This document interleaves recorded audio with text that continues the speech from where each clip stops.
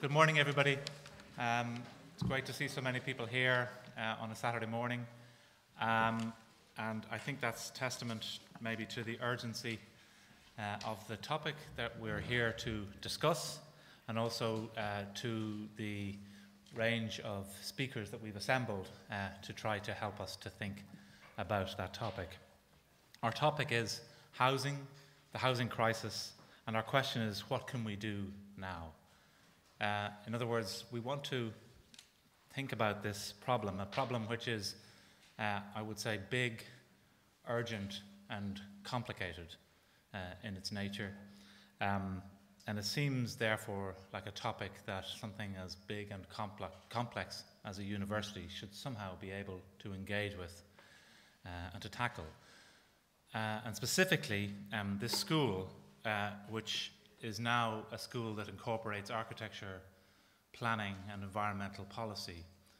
Uh, some of the disciplines which are key, really, to um, the, the, the, whole question uh, of housing, housing provision, housing design, and so on.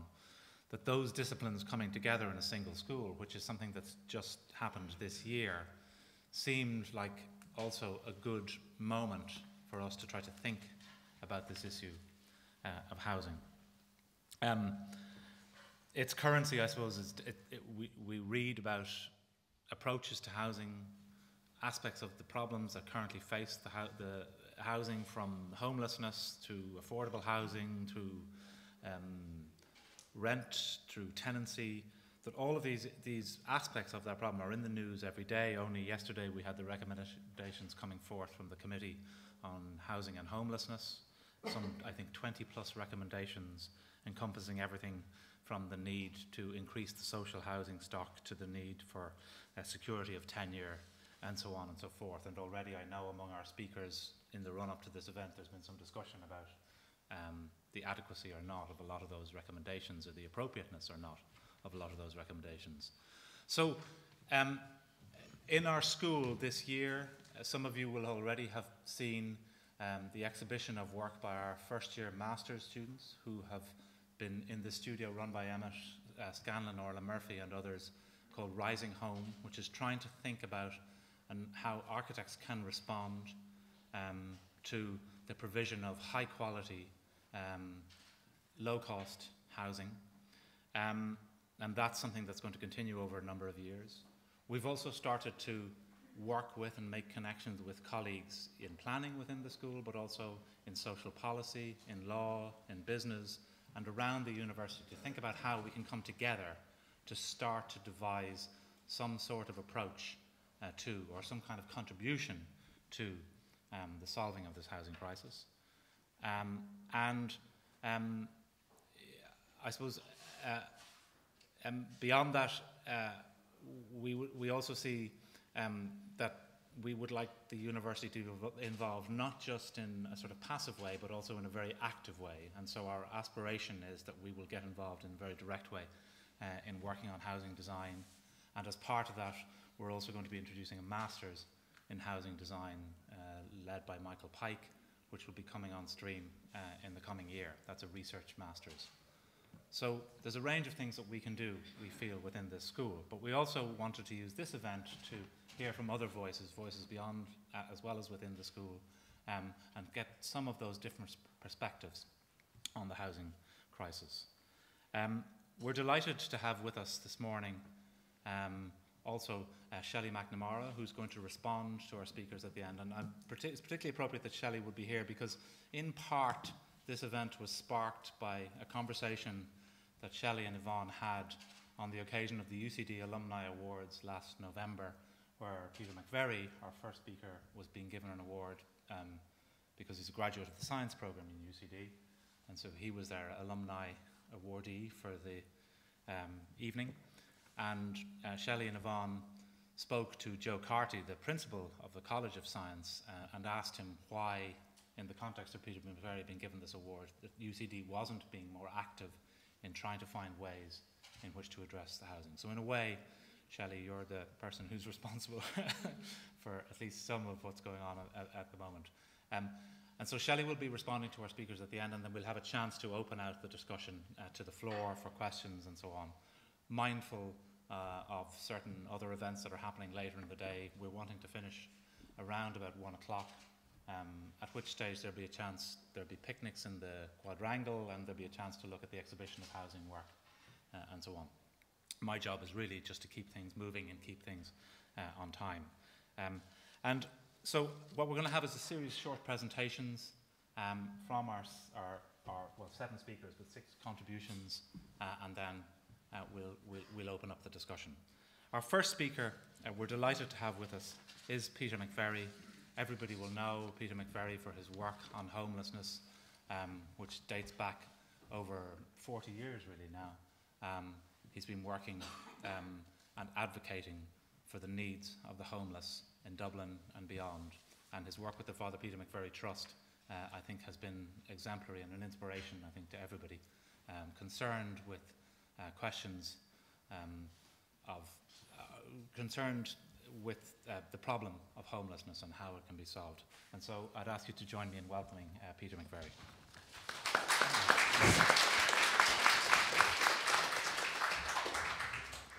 Good morning, everybody, and I'll try and stick to my allotted five minutes.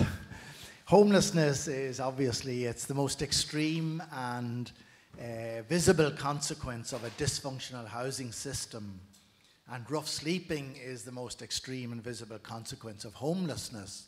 But we have a totally dysfunctional housing system at the moment. The three sectors in the housing system private housing, social housing, and private rented are all in crisis at the same time. Normally, in a functioning housing system, if one sector falls into crisis, the other two can compensate.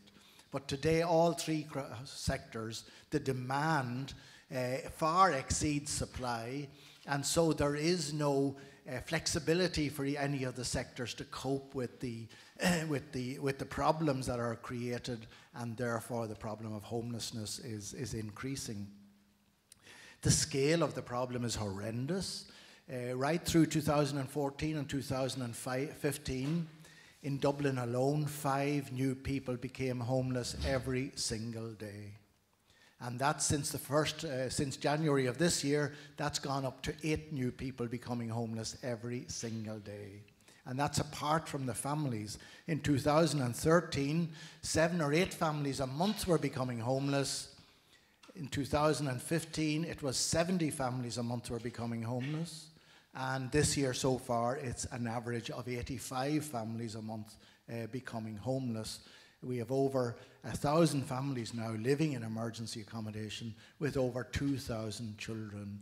And the consequences for those children, particularly, are horrific. The children are physically uh, being damaged because they're eating out of chippers for up to two years. Uh, they are emotionally damaged because of the stress, and they are educationally damaged because you can't go to school and study if you're education if you're stressed out all the time. Anyway, the the, uh, the solutions, I, I, I, fully accept and, and agree with the recommendations of the Oireachtas Committee. And I think the most important recommendation was that we have to build 50,000 social houses over the next five years. The problem we face today with social housing is goes back 20 years. It goes back to the Celtic Tiger years when the Fianna Fáil government of that time decided that social housing should be provided by the private sector and in particular by the private rented sector. And so they provided the rent allowance to allow low income families to pay the rents and the cost of the rent allowance went from something like 32 million a year up to 500 million a year. So that uh, ideological decision to effectively abandon social housing uh, has led us to the position that we're in. And there is no solution to the social housing crisis today except to build social housing. Low income families do not want to be in the private rented sector by and large. And their big objection to the private rented sector is a lack of security of tenure. They can be thrown out at very, very short notice. All the landlord has to do is to say he's selling his house or his granny is coming home from England and he needs it to, to house her, and you are evicted, and there's nothing you can do about it. Some landlords are using that as an excuse just to get rid of you and bring in another tenant at a much higher, higher rent. So the building of social housing, that's going to be extraordinarily challenging. We're already halfway through this year, and uh, I'd say the number of social housing units that have come on stream would be in the hundreds rather than the thousands. Uh, so we're really looking at 12,500 social housing units to be built each year over the next four years, and that would exceed anything we have ever done in the history of this state. The, uh, so it's very challenging. A number of the other recommendations, they were made, and indeed the last minister, Alan Kelly, uh, wanted to introduce them. One is rent controls, limiting rent increases to some sort of index, such as the Consumer Price Index. Alan Kelly wanted to do that, but the Minister for Finance wouldn't let him. Uh, increasing the rent supplement to, uh, to the level at which the market uh, exists, the market rates. Alan Kelly wanted to do that, and Joan Burton wouldn't let him. So there, the problem with this, and I, I would just finish on this, uh, the problem that Simon Coveney has is he can accept all these recommendations, but unless he gets the cooperation of a significant number of other departments and agencies, his hands are tied. Uh, the, there, this is a, a problem that no one department can solve. The Department of Finance has a key role to play in this. The Department of Social Protection who control the rent supplement, has a key role to play in this. The Department of Health has a key role because some homeless people, a small minority, let it be said, but some homeless people have addiction and mental health problems, and it's very difficult to solve their homelessness unless they have access to uh, treatment. Uh, so the, the, uh, the, local authorities have a, a role to play in this. Alan Kelly wanted Dublin City Council to renovate an empty block of flats in O'Devany Gardens to be used as emergency accommodation for homeless families, and Dublin City Council told them to get lost. So they have a key role to play, and actually, the local authorities, it seems to me, don't want to build social housing. They've had their uh, problems with big estates like Tallaght and, uh, and Ballymun and Ballyfermot in the past, and they don't want to go back to having, having to manage big social housing estates. And so there's going to be a huge need to persuade them to, uh, to, to come and, and, and, and, and, and fulfill their role, their key role in addressing this whole problem uh, of, of, of homelessness and housing. So we have a huge crisis. The number of family, number of households on the social housing waiting list, it's certainly well over 100,000 at the moment. Back in 1996, it was 25,000. Today it's well over 100,000 20 years later.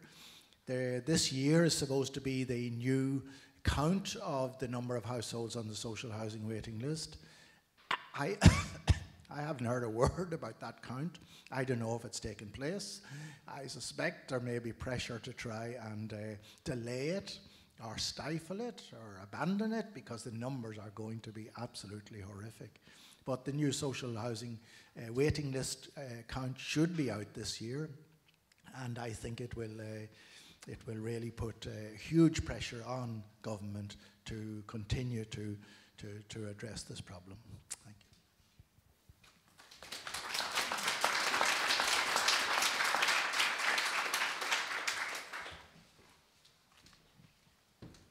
Thank you, Peter. Um, one of the people, I suppose, who's uh, I suppose, tasked with responding to or advising on um, the, this, this very difficult crisis that Peter has outlined so vividly uh, is Sarah Neary. Who, um, Sarah Neary was uh, recently appointed as housing advisor uh, in the Department of, is it still the Department of Environment and Local Government, or it is it now the, the Department moment, of yeah. Housing, Planning and Local Government, something? It takes a ministerial order to change the Okay, title. so what's currently the Department of Environment and Local Government. Um, Sarah is an engineer uh, by training. She also has an MBA from UCD. Uh, and previous to this role, she worked as a senior advisor working on um, the building regulations. Um, so I think she's well versed in um, dealing with very complex uh, and seemingly intractable issues. And I'm delighted that we have Sarah here uh, this morning in her new role to talk to us. So please join me in welcoming Sarah Neary.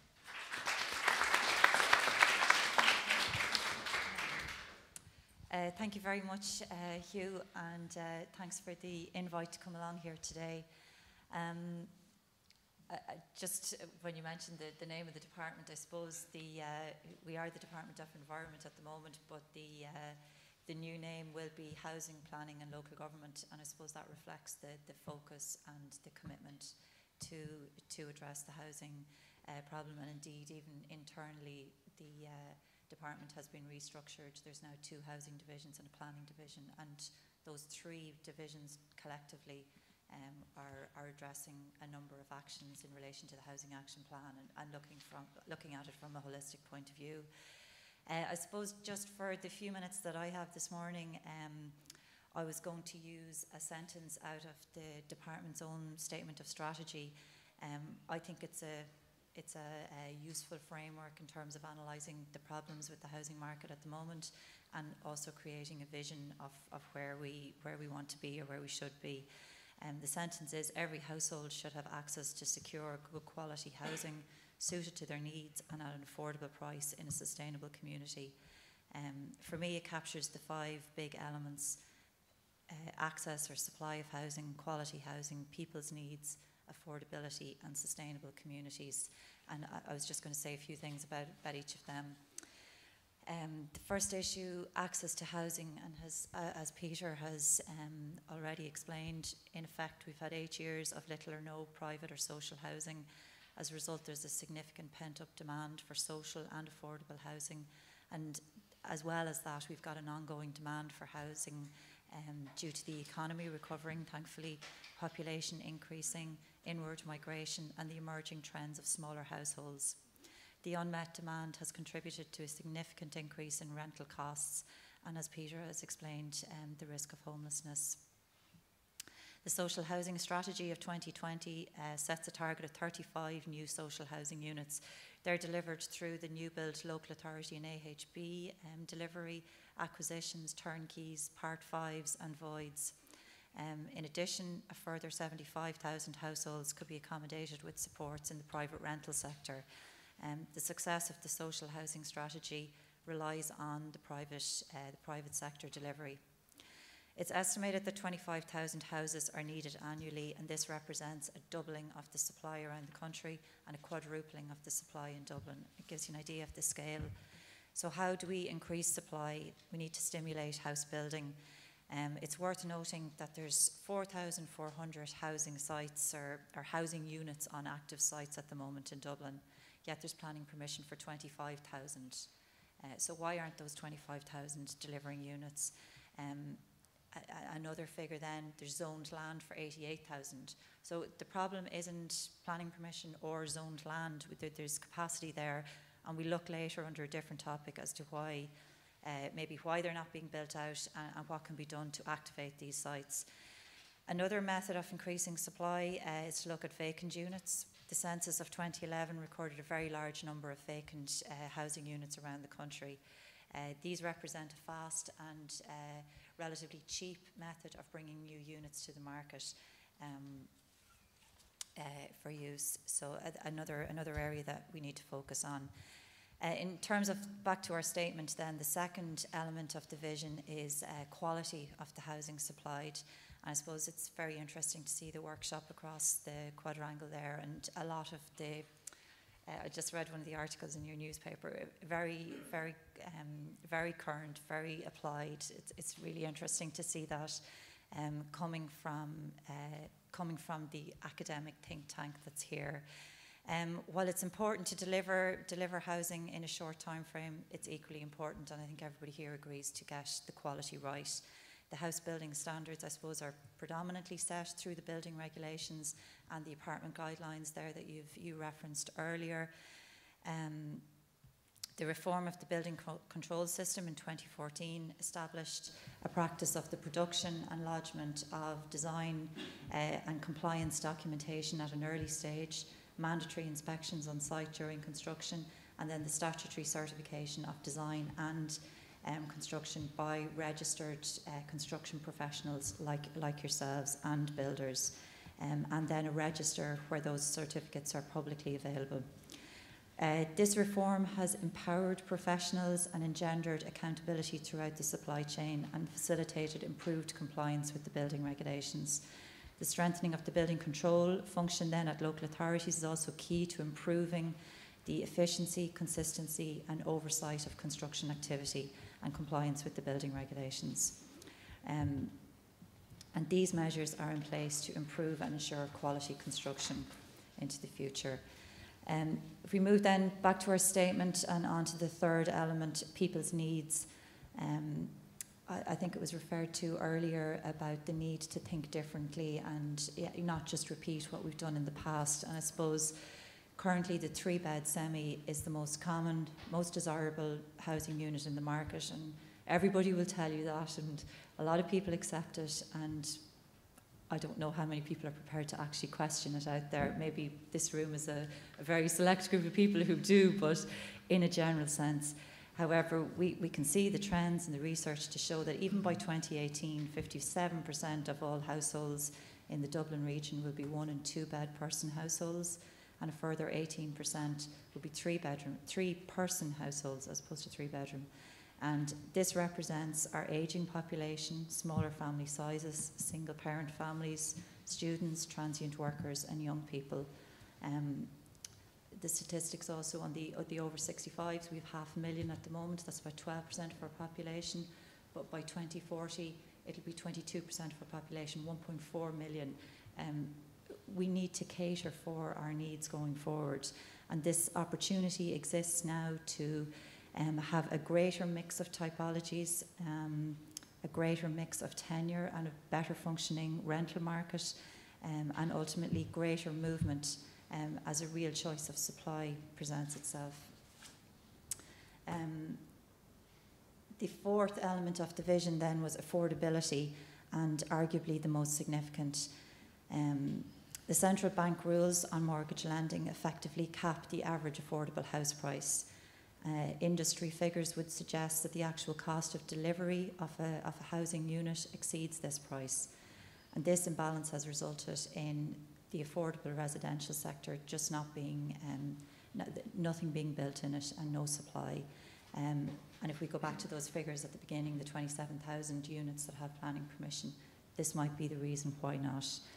Um, I suppose last week Minister Coveney announced the establishment of a local infrastructure fund of 200 million, and this would uh, this is a fund to um, provide physical infrastructure like roads, um, amenities, bridges, whatever is needed in order to um, activate either private or public lands for housing.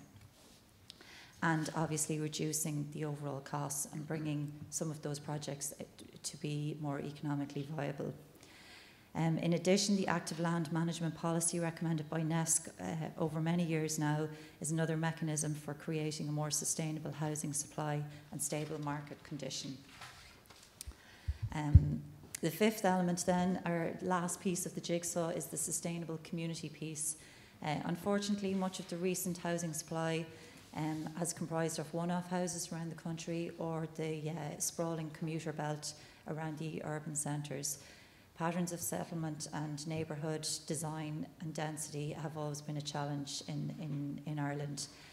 The promotion of sustainable communities has been enshrined in policy for, for a long time now and implemented through many best practice guidelines and policy documents. Sustainable communities are areas where land is used efficiently and there's very high quality urban design um, and effective integration of physical and social services. And these combine to present places where people want to live. Um, the advantages are many, and, and I suppose I'm preaching to the converted here really.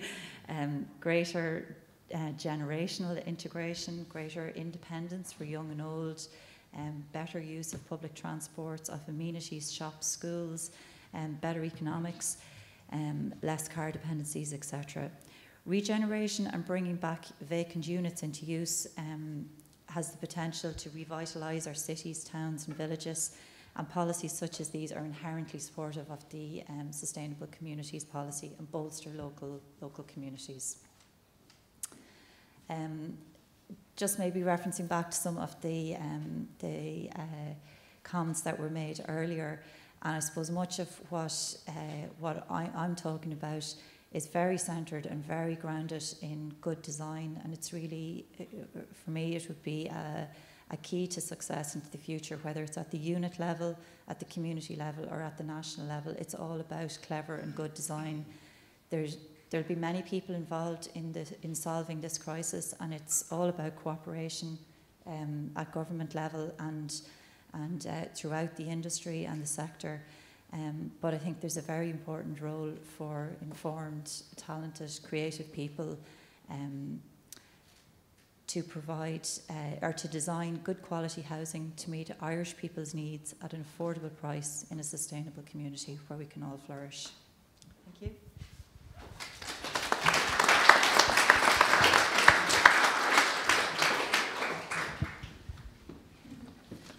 Thank you very much, Sarah, for that very lucid uh, and comprehensive uh, overview.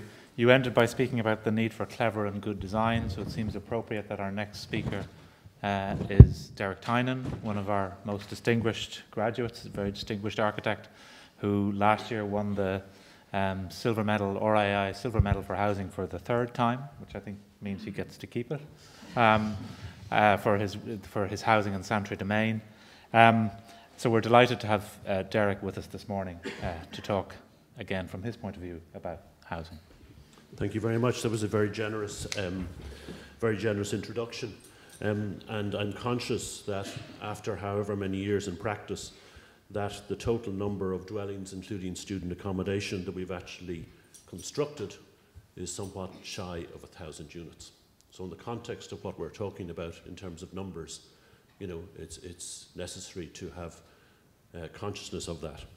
And in that sense, and, and with, with great uh, admiration of uh, uh, Eddie Conroy's work in relation to George Herbert Simms, who was the city architect between 1932 and 48, who built or supervised from the Markovitz blocks and various other things in the city to Crumlin and Cabra, I'm conscious that he built, or was built under his direction, 17,000. So that's the scale of kind of initiative in a certain sense that we need. So in the tradition of, of architecture, I tried to pull this into, I'm sorry, the other thing to say is that there's no self-promotion today, so there's no uh, slides, um, uh, so you'll be saved that. Um, so I'm going to try and do it in the tradition of the five points. So first, the first thing I think we need to do is be honest about the timescale. Um, this crisis, as has been said, has been long in the, in, in the making, and in the immediate short term, in terms of the idea about what should we immediately do, as asked in the question, I don't. I think that the issues, and as, as Peter McVerry has mentioned, about homelessness are to do with social policy, rent control, uh, financial assistance, etc., to get us over the short term of people becoming homeless. It, the, the, you know, the time scale, if you take a 50 unit or 50 dwelling um, uh, development to build it, even if you had the survey today, if you got through design and onto site in 12 months, which is very short, and construction took 15 to 18 months, you're two and a half to three years before we can deliver, starting today, something for people to move into. So that's the reality. And I think the first thing we need to do is be honest about the timescale of what we can do. The second thing is that in responding to a housing crisis, that I don't think that we should jump to fast conclusions. And I think that if we look at the areas for regeneration that have been, been regenerated over the last number of years, whether that be Dublin and Ballymun, whether it be Knocknaheeny or the Glen in Cork or parts of Limerick, they arose out of previous overly fast responses to housing crises, which left us with a legacy that we have to had to deal with in the immediate in the in the recent past. So I have ability, I have, I have, I have faith in the ability of government to respond. I think that you know initiatives, whether it be rural electrification, the Cork Dublin gas pipeline, or free education, were all uh, um, kind of initiatives by government, and I think we have to actually believe that that can happen again. That's point one. Second point is keep the faith. Um, and not in the St. Paul, Pauline kind of version where he's run the race, but rather in the Irish version of having a belief and holding on to an idea. And I think it's important that, and again, it's not an, an, an immediate action, that we recognise the contribution that we can make as architects. Over the last 20 or 25 years, there's been an extraordinary, through the Department of Environment, extraordinary um, uh, suite of standards, and I think it would be unfortunate if they were to get completely eradicated. I think over that period, what I call the heroic period, and I, I talk, uh, you know, kind of Sean Antoine O'Murray's book on 1990 to 2010 Dublin architecture, you know, shows the quality of things that were made of uh, a, a tradition of creating places, districts, neighbourhoods, etc. And I don't think that we should forget all of that. I think in terms of quality and sustainability, we have to remain there. In terms of the housing guidelines, uh, there are many who believe that the, uh, the winter solstice of last year was marked by the darkest day in housing design when Mr Kelly, the previous minister, published his guidelines. Um, and I think there are certain aspects of that. Uh, I think it was heavy handed. I know it has to do with affordability. I uh, have concerns about the issue of, of, of, the reduction of dual aspect in terms of longer, longer uh, sustainability of housing. And the main issues are to do with affordability. And even in the war, interwar years in this country, we had subsidization of uh, housing, whether that be, you know, and I think we need to recognize that and that the, you know, the, the reduction of floor areas is of itself not, you know, the, the, the panacea to where we are. I think as architects, in terms of keeping the faith, we need to remain as advocates. We need to maintain a belief and have ambition about urbanity, community, quality, and lives. And I think that's the second thing we have to do um, in terms of what we can immediately do is just keep the faith. The third thing is innovation and design. And I think we are dealing with new realities in terms of you know, smaller units, the demographics that Sarah has mentioned, household type, families, apartments, etc. And that has implications for access and unit, uh, unit arrangements, for density, and for affordability. I think we need to move to open plan typologies, and I know there is work going on on this. It's interesting that the Housing Agency, which has just published a, a, a call for, for a study for um, to deal with the new or to examine the new regulations, um, has one part of it which actually talks about the, uh, the um, change in the fire regulation. We, we need to adopt BS 9991, which gives far, far greater flexibility, which removes corridor solutions, and we need fire engineered solutions to actually move this forward. I think one, and, and there are issues that, attached to that, um, uh, which is to do with cost, um, uh, but I think those could be addressed. Um, and we have, for example, we're, uh, we're quoted 25,000 for a large apartment to actually put sprinklers into it, but we've got that down to a local suppression system of six or for six grand at the moment. So I think there's a, an issue that can happen there. And I think one of the things that the department could do to actually push that agenda is to have a series of workshops um, to bring the fire officers into that and to actually move that agenda forward across the fire service so that we can uh, move that forward. I think that would be one thing that we could do in innovation and design that could be done now if the department uh, asks for that to be done and if it directs that it be done, then it can be done and we can move to a more flexible form of open plan typology uh, which will great, uh, allow for greater affordability uh, and greater flexibility in terms of design. When you look at, you know, you're in, looking at housing typologies in um, in Holland or in the Netherlands or in Germany. And you say, how do they do that? They do it because they're not stuck on BS 5581, whatever it was that we've had. And so there's a far greater flexibility that arises from that. That's something that we can do now. The fourth one, fourth, it's only five, so this is the fourth, is build exemplars. Um, and I've talked about the time scale before, but I think we need to, you know, I don't think, believe the solution to where we are is modular bungalows. I don't think that's going to help us in terms of density. Um, rapid build technology, I'm not sure how that's actually worked out, but we need to move forward. Um, and I think it's worth saying that in terms of local authorities and housing programs, that the commissioning of social and affordable housing by local authorities um, was a, a, useful program, and that also other bodies, such as um, whether it was Docklands or Temple Bar or whatever, led to innovation in housing by having a radical commissioning policy. And I'll come back to the question of procurement in a second. I think, in terms of what we might do, in terms of building exemplars, that the department and the local authorities should select 20 projects. Um, 10 brown urban field, brown, brownfield urban sites, 10 edge lower density ones. Take 20 projects, 1,000 units, commit 150 million to it, and say, let's build exemplar housing for th in three years on those sites. And to actually take that as with a fast track approval process to the department and design review process also with the department that could be external if, they, if that's difficult. But I think you could actually move the whole um, argument forward very quickly and it would be something which, as all politicians like, it would catch the public imagination. And I think that would be very useful. The last thing I have to say is about procurement. I think we need, if we are to address where we are in terms of housing, if we are to use the talents that we've talked about um, in terms of architects and, uh, and the, the, the various other sectors, I think we need a radical rethink of procurement. Because procurement does not allow us, whether on professional design teams or on construction, to respond to the demands that we're dealing with.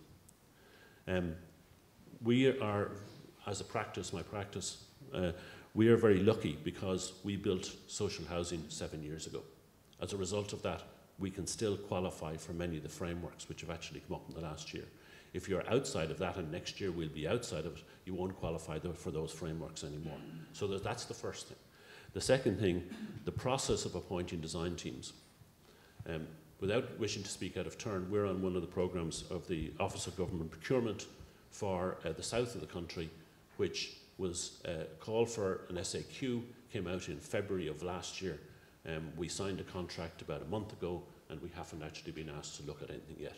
That means it's 18 months to actually um, appoint a design team. We simply can't let that happen and it be that long. And that's to be the central place wherever there's other smaller frameworks as well. So I think that you know we just need to do something else in terms of some radical overhaul of procurement and a procurement of design teams. The second thing is that the qualification for those keep, keeps out, and I, I, suspect, for example, that if you look at the Office of Government Procurement um, list, that you'll find that, the say, that there's probably 15 practices in total across all of the, all of the frameworks. And if actually you were to try and build 25,000, they couldn't actually do it because they don't have the capacity. And the manner of procurement at the moment keeps out of the system young practices uh, who could well, as I've said before, you know, deal with 25 to 50 dwelling um, uh, projects without any difficulty whatsoever, and if necessary, the RIAI could mentor them in some kind of fashion. Right? So I think we need to overhaul it, open it up, and let uh, people do it. And I've suggested before at the conference this year that the RIAI itself should, with the department, um, select five sites um, for 25 to 50 dwellings with a guaranteed commission to build and have, have a housing competition in two months for those and get on with it. So I do believe that there are significant things that we can do um, in terms of how we move this forward as architects and make an appropriate contribution. Thank you very much.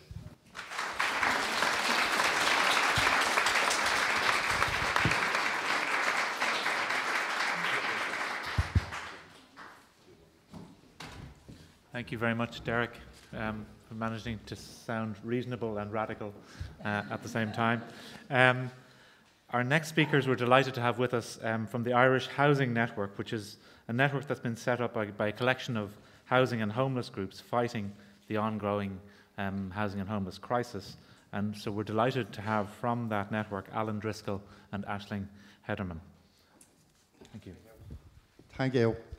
I'd uh, just like to start by uh, saying that we're very happy to be here to speak as and Aisling both as former students of UCD through access programs.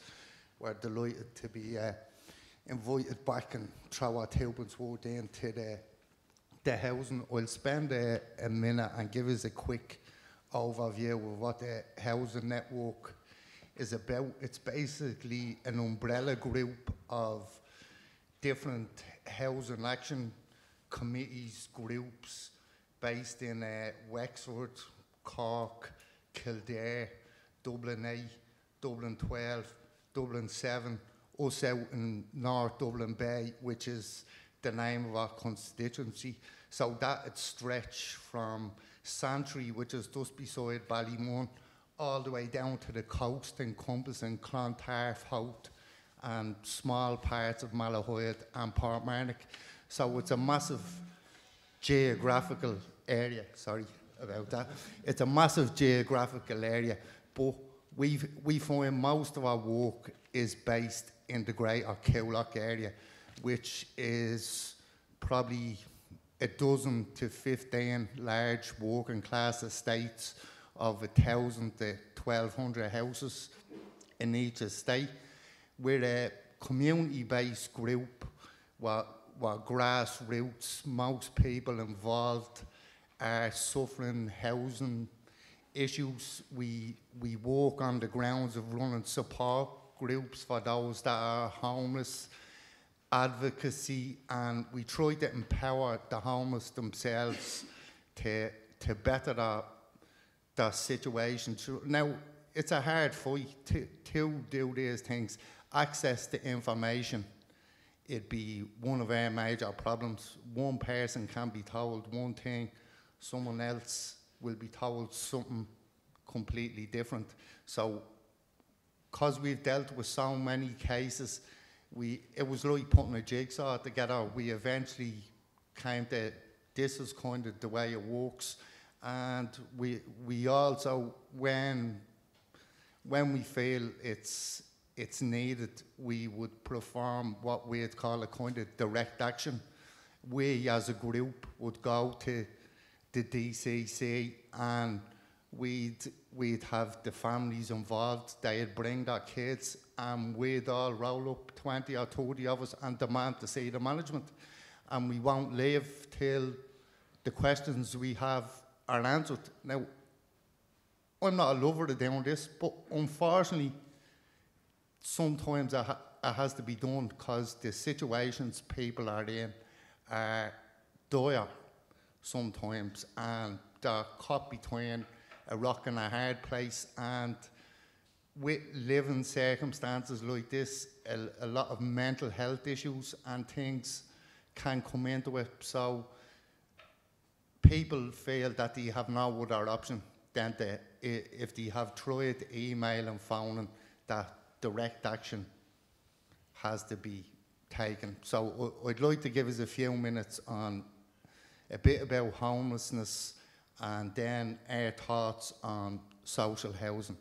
On homelessness first, the majority of what people would say is like the visible homeless in Dublin City and all, I believe that what services have been massively cut since the recession. Drug and alcohol addiction programs, mental health things. Then, then you have also specific communities that are homeless, like travellers. And then there, seems to be, uh, we've come across a lot of cases of people in the LGBT community becoming homeless.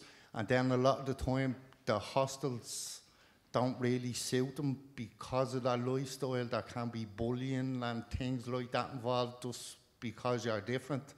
So uh, I think on the visible homeless front, services is a major thing for them. For the not so visible homeless, which would be people in emergency accommodation, I think some of the main things that would affect them is the standards of the accommodation.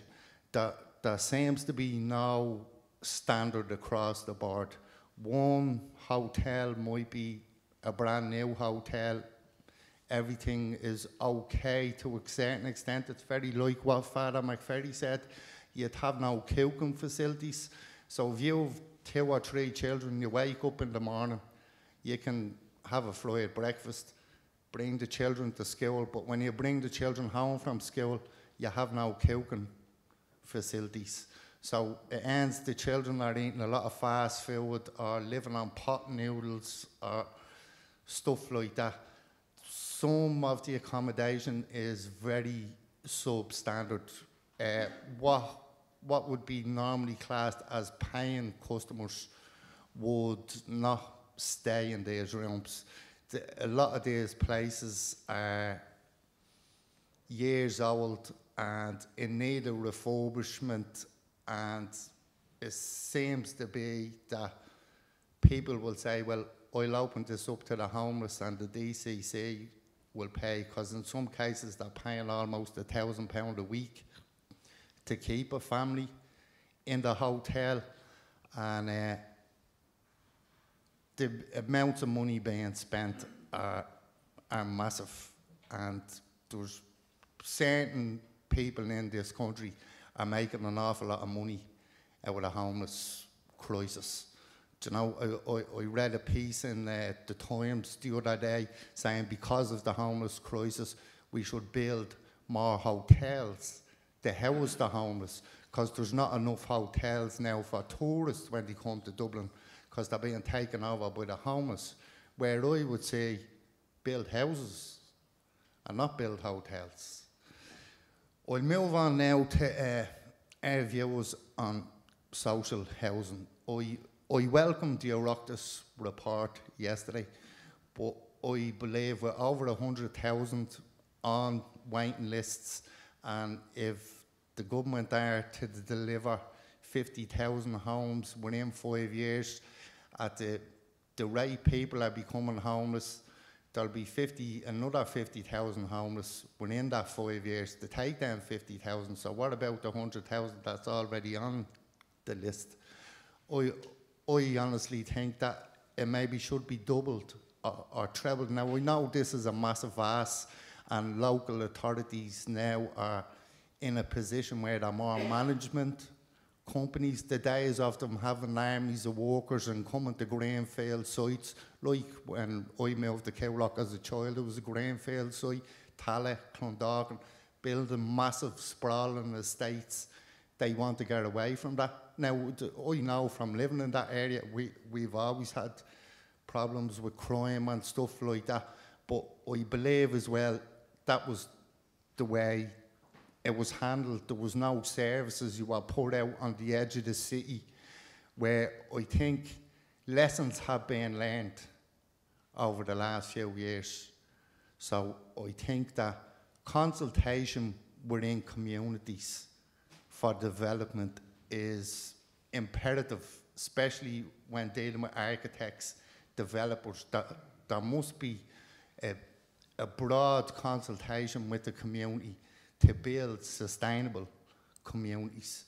I also believe that land banks, which DCC have five land banks I can name off the top of my head now that that are looking to go ahead for development. O'Devaney Gardens in Dublin 7, uh, Michael's Estate in Inchicore, one on the Oscar Traynor Road where, where we live in Coolock, there's another one down on the Malahide Road, Belcamp, which is, is Coolock as well. And then the fifth is in Ballyfermot.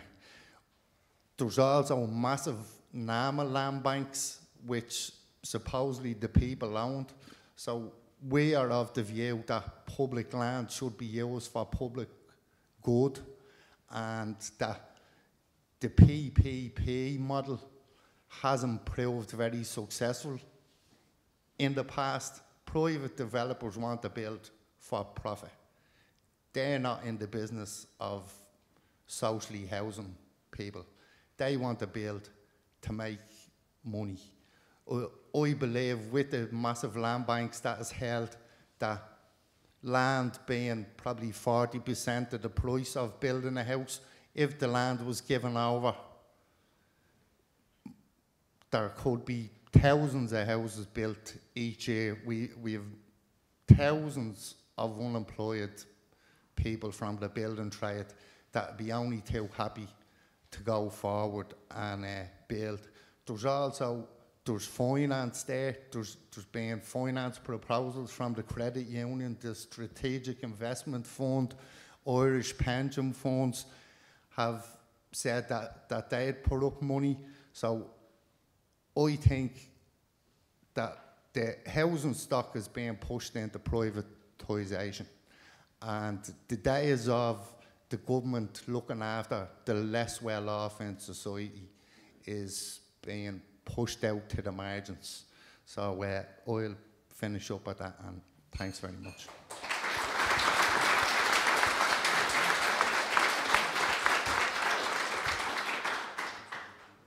Hey, my name's Aisling. I'm also part of um, North Dublin Bay Housing Crisis Community.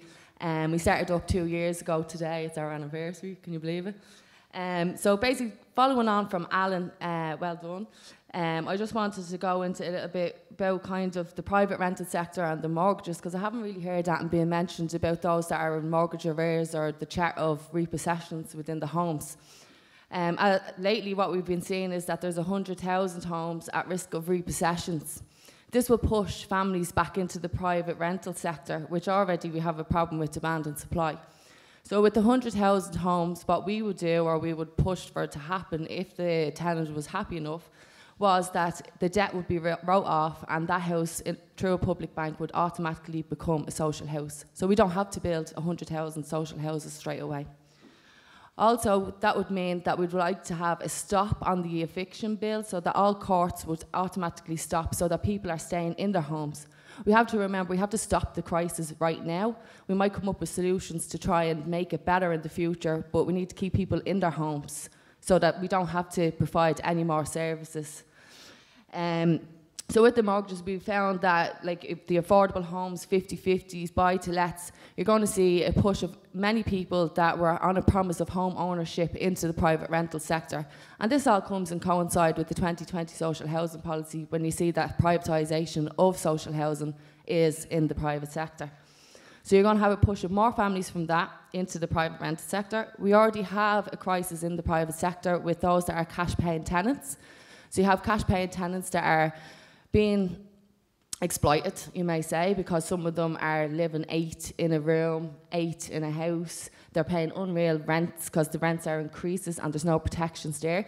Rather be rent control linked to the index, what we feel is that rent control should be linked to income we have to remember everybody's trying their best to get back into the big bad world from the recession, and the opportunities aren't there tr- for job opportunities, which you can see many people being pushed onto jobs bridge, CE schemes, and you might say that rent allowance is there to actually help these families. Rent allowance is not your friend.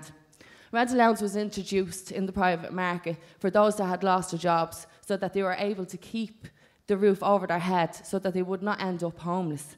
But the glitch with that was you could not work you had to stay unemployed while you were accessing rent allowance. So this meant if you were to return to work when all wages had gone to a lower minimum wage, that you could not actually get enough money to pay for your rent, your food, and your children. So the rent allowance has many catches. You had a cap as well. So the cap meant that you could only look for a certain property that was within that limit. That limit then obviously stayed, but the rents rised. So you were then forced into homelessness because you couldn't find another property that was the same price. So as we can see with the 2020 housing policy coming forward, the new housing assistance payment scheme is being introduced. The housing assistance payment scheme could be a good initiative for those on middle incomes so that they have a subsidy for their rent, not for those that are on low incomes or need access social housing. Why is that? One, because you have no guarantee of length of tenure. Your contract is a two year contract with the landlord, but it can develop up to 10 years. And the problem with that is, is after the two years, the landlord could decide he wants to move home. The landlord wants to sell the house. So once again, you are homeless.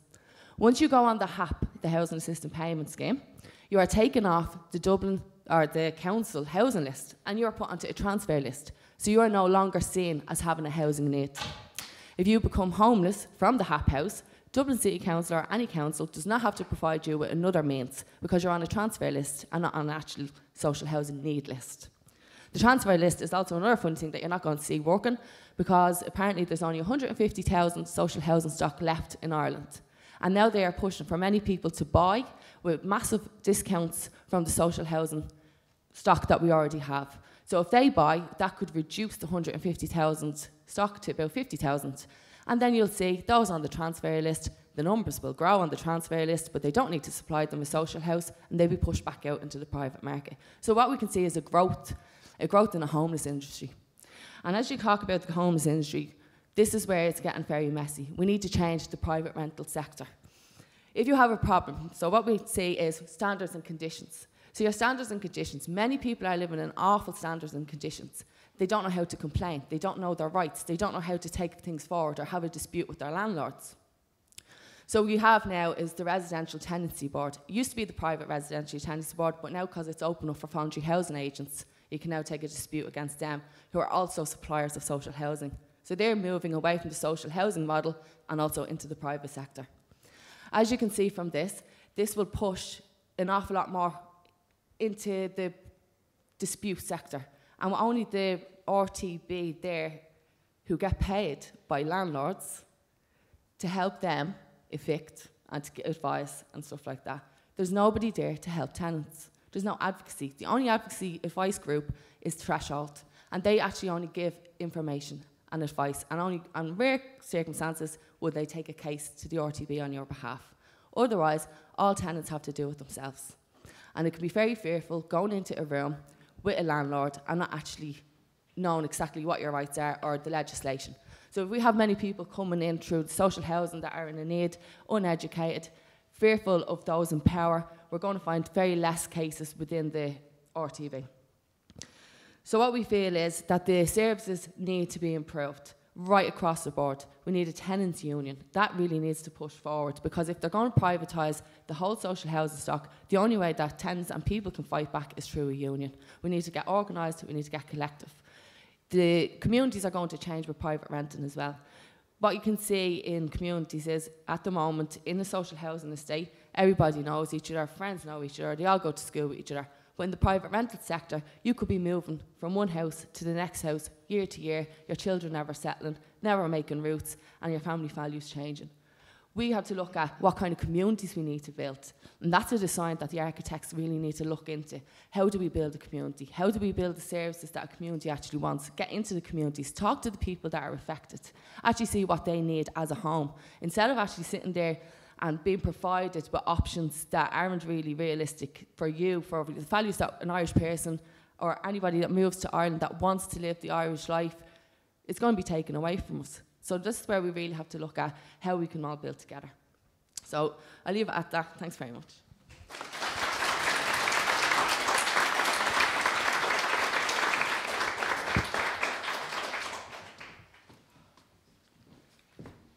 Thanks very much to um, for those very uh, vivid and uh, I think instructive um, contributions. Our next contributor is Orla Hegarty from the School of Architecture, Planning and Environmental Policy. Orla directs the professional diploma course here um, and has been very active, I think, in recent years in making a bridge, I guess, between academia uh, and practice and working on many aspects of professional practice uh, and has become, I suppose, known for her activities in this realm.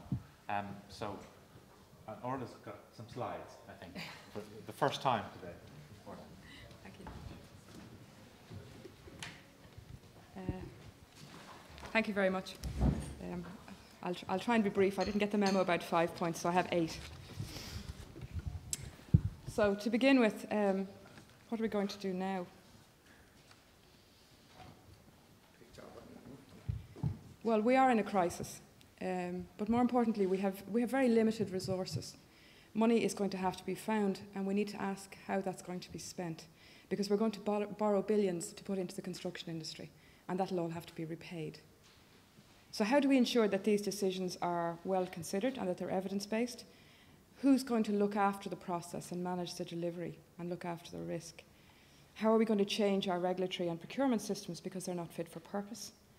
And how are we going to get the right balance between quality and cost with the money available. Because the two big risks are that the money might run out before we finish the task or that we will build more priory halls. So I would see this crisis as an opportunity as well, an opportunity to reform a lot of these systems and to look very closely at where the dysfunction is and how we build systems that are more durable and more resi- resilient and more sustainable. So, firstly, to look at the construction industry. No other sector was so devastated by the storm, and that's from the government's own report, Construction 2020. If we look at task, they say that in, at the time of the height of the, the, the boom, there were 370,000 people employed directly and indirectly in the construction industry. And we now have fewer than half that number employed, many of them underemployed and many of them de-skilled. Add to that the fact that we haven't been building, so there's been a phenomenal drop in apprenticeships, people are not being trained up. We have an erosion of skills in the design and construction st- sectors because people haven't been working at that level. We have new standards, we have a lot of innovation, we have a lot of change in regulation. So there are really significant concerns now about a skills shortage in both the design and, and the construction end of the sector. In fact, it, it might even be the biggest threat to delivering this programme on time, the fact that we don't have the people to do it. So I would make the case that we need to put in some adequate supports and controls on that system so that the, the limited resources we have can be used strategically and that the delivery programme is not put at risk. because the impact of a skills shortage is that prices go up and quality comes down. We also need to recognise the nature of the construction industry. It's very fractured. 95% of the construction industry is made up of individuals, tradespeople, and micro enterprises. So that's, that's, that's uh, companies of less than 10 people is 95% of the entire construction sector. Many developers are not builders. We need to make a distinction between what is a builder and a developer. So we have land speculators who are speaking as builders and developers who actually have no experience in the construction industry, and everything will be subcontracted to these, uh, these people in the market. Subcontractors then will be working on very tight deadlines, complex contract arrangements, working very challenging and demanding conditions uh, without any control of the process, all managed from the top. So the procurement system has been mentioned. We have to acknowledge that reality. That's what we have out there to do the work. So we need to manage our procurement systems to fit the reality and not the other way around because going to market with expectations that can't be met will just reduce competition and drive up prices bundling large contracts together to, to, to build uh, vast quantities of units is much more likely to result in a lot of middlemen taking high margins, with the same subcontractors working at lower rates and, and the impact that uh, that has on quality. So, ironically, economies of scale are not what you might think in the construction sector, and it may be counterintuitive to think of it that way, but, but myriad small solutions might be much better value for money and much more easy to control. Uh, our procurement systems are all based currently in the public sector on cost certainty. That is not the same as value for money. Uh, so we need to change that focus, I think, from a sort of risk averse cost certainty model and away to a system where we support people actively who are delivering procurement and that they have a focus of value for money and robust quality control rather than a fear of, of accountability when there's cost overruns. We need to manage the risk differently. Thirdly, uh, life cycle costing. It's government policy that whole life costing should be accompanied by analytical examination of sustainability performance, taking into account the wider economic, social, and environmental context. So, capital investment in these houses is a fraction of what it will cost over the life of these buildings to run them. And design is a tiny fraction of the, of the ca initial capital cost. So, what we're talking about is a fraction of 1% being spent on the people who can think through how this money will be spent, how these buildings will be designed and used. We need to think differently about what design is. Design is just informed, intelligent, research led decision making. It's not an abstract con concept about the aesthetics of a building. So we need to think carefully about spending very small amounts of money relative to the cost of the building over its lifetime on, on good design at the right time. Uh, so we need, to, we need to think carefully about how that is done and we need to make the best use of the resources we had. As, as Derek has said, it's very difficult to tap into the talent that's there because the systems keep them out. Climate change. Um, the greenest power is the power you don't have to produce. The residential sector accounts for uh, more than a quarter of all primary en energy demand in Ireland. So our houses are using more than a quarter of all of the energy demand. Government climate change policy recognises that energy, energy saving in homes can have a very significant benefit beyond the housing sector into other sectors. So, though improving our housing stock could have benefits for agriculture and transport and other industries uh, by the savings that can be made in both the new stock that's to be built and in upgrading the existing stock. And if we look a little bit down the road into the future, technologies are becoming much more affordable and they're out there within a relatively short space of time, our houses have the potential to be energy generators and batteries feeding back and supporting the grid in off peak time. So we could see our housing programme now as a resource that could power the economy in very different ways and could be strategically, this investment could be used quite differently if we build correctly. The average home spends about three and a half thousand euro a year to heat and power, uh, to power a three bedroom semi house uh, that's a lot of money to put back into people's pockets and back into the economy at very little cost if we uh, roll out a retrofit program and build the new houses properly.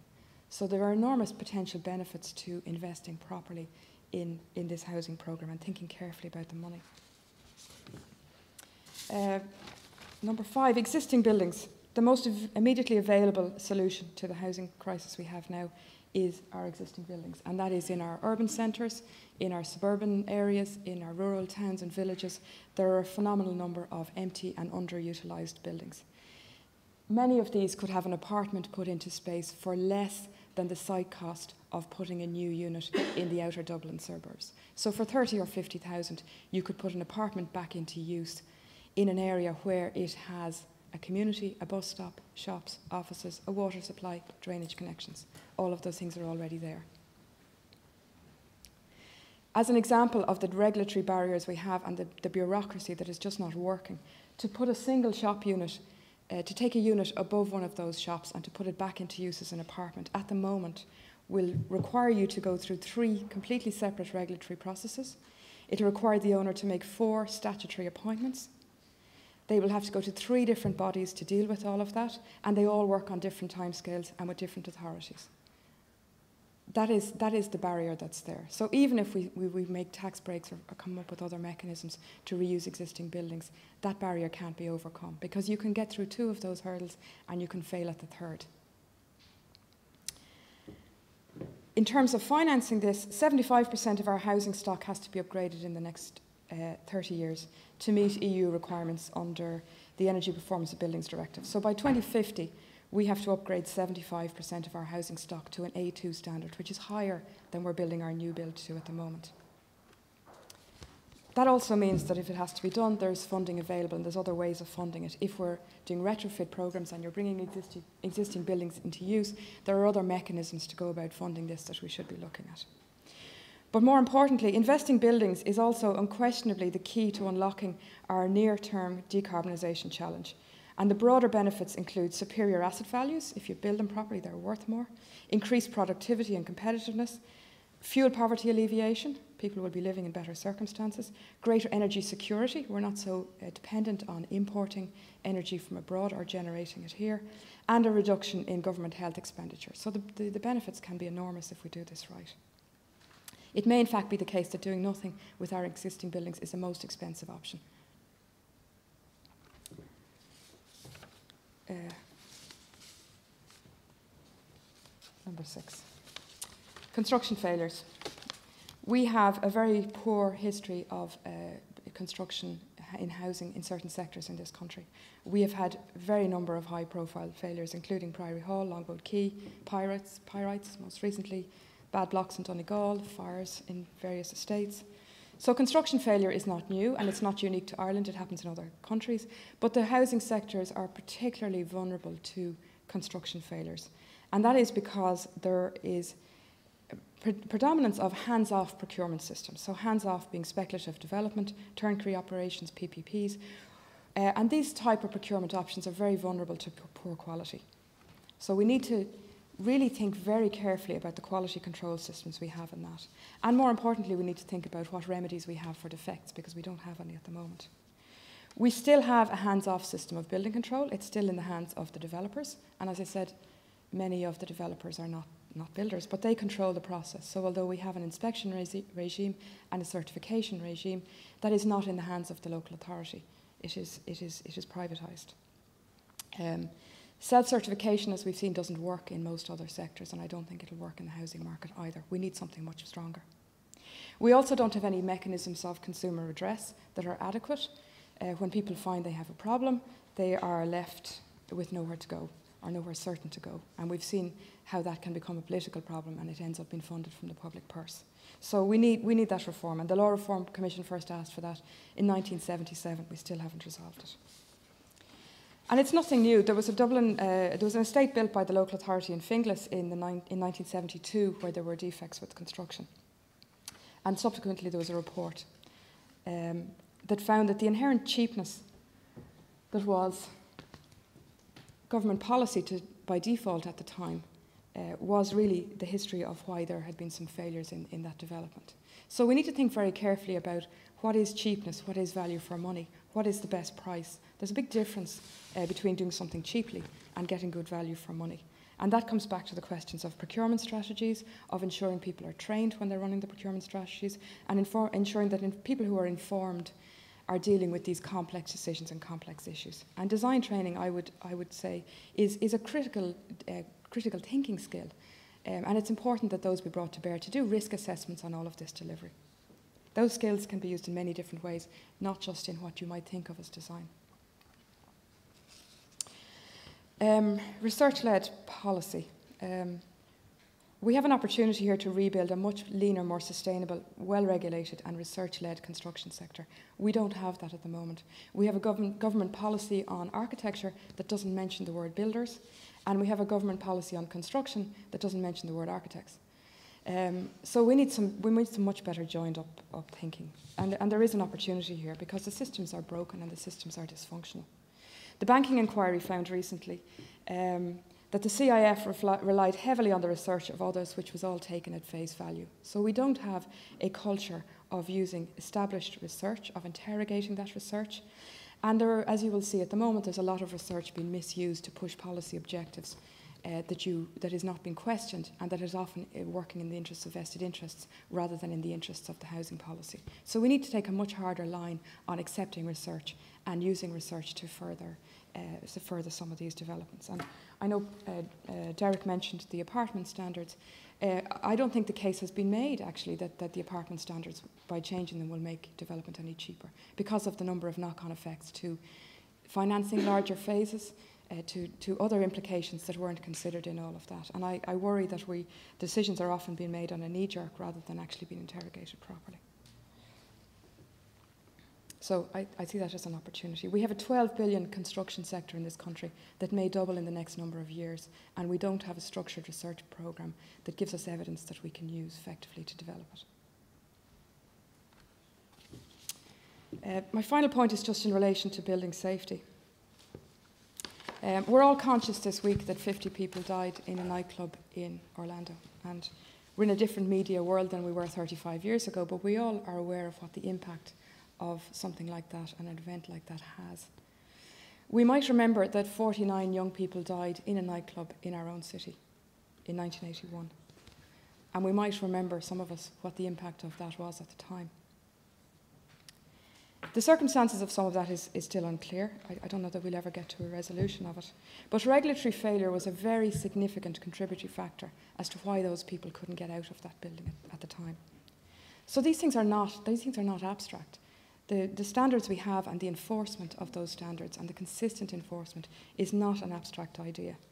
The Stardust report found uh, many number of regulatory failures uh, that went back to the ownership, the lack of resources in the local authority, the poor standards we had at the time. We need to think very carefully about that. We still don't have a system that is robust enough to make our new housing safe. And in fact, many people would say there are aspects that make it dangerous. We really need to think about how that works and we need to change what we have. So, in conclusion, uh, I would like to see the housing discussion opened up. I would like to see more discussion of what the implications are for the construction industry. And more importantly, I would like to see a really serious investigation of how we are going to deliver this housing what systems we have in place, whether they're adequate and robust, and whether they're up to the challenge before we start to put money into the construction sector.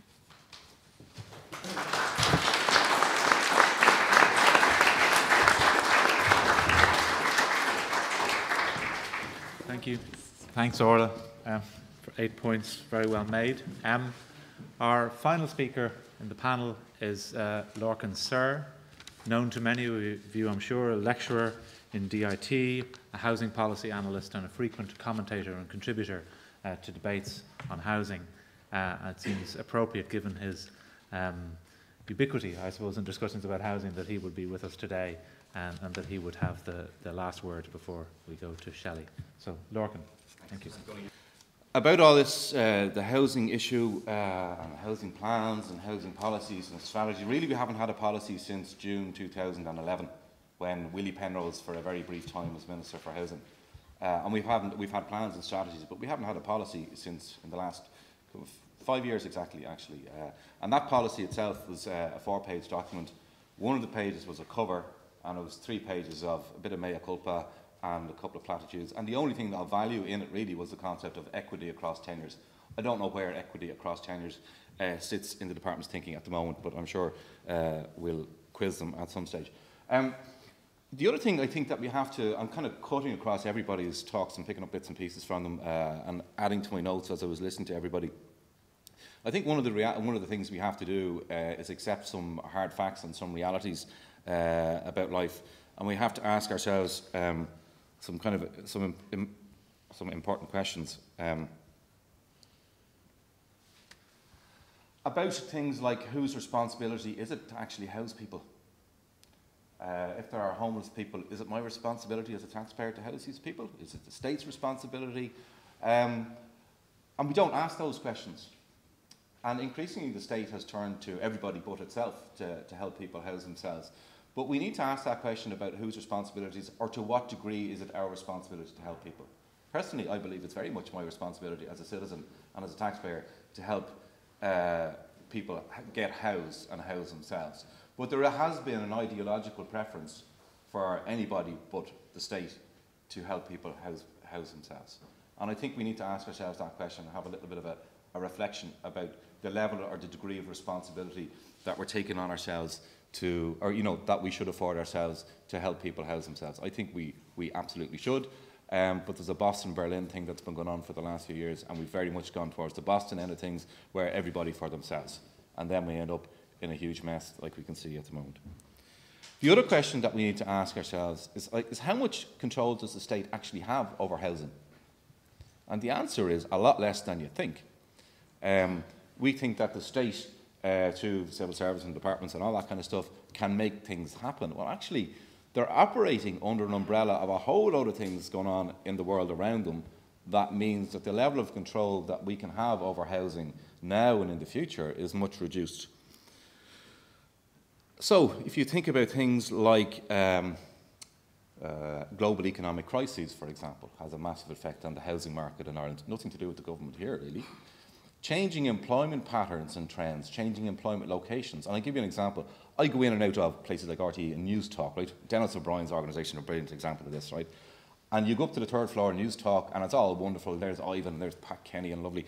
And there's like 45 youngsters with degrees and master's degrees in media and communication and they've got two screens each and big headphones on, right? And they're cool because they're working in media, and they're all on three-month contracts. Those people, and they're not just 25, they're up to 45.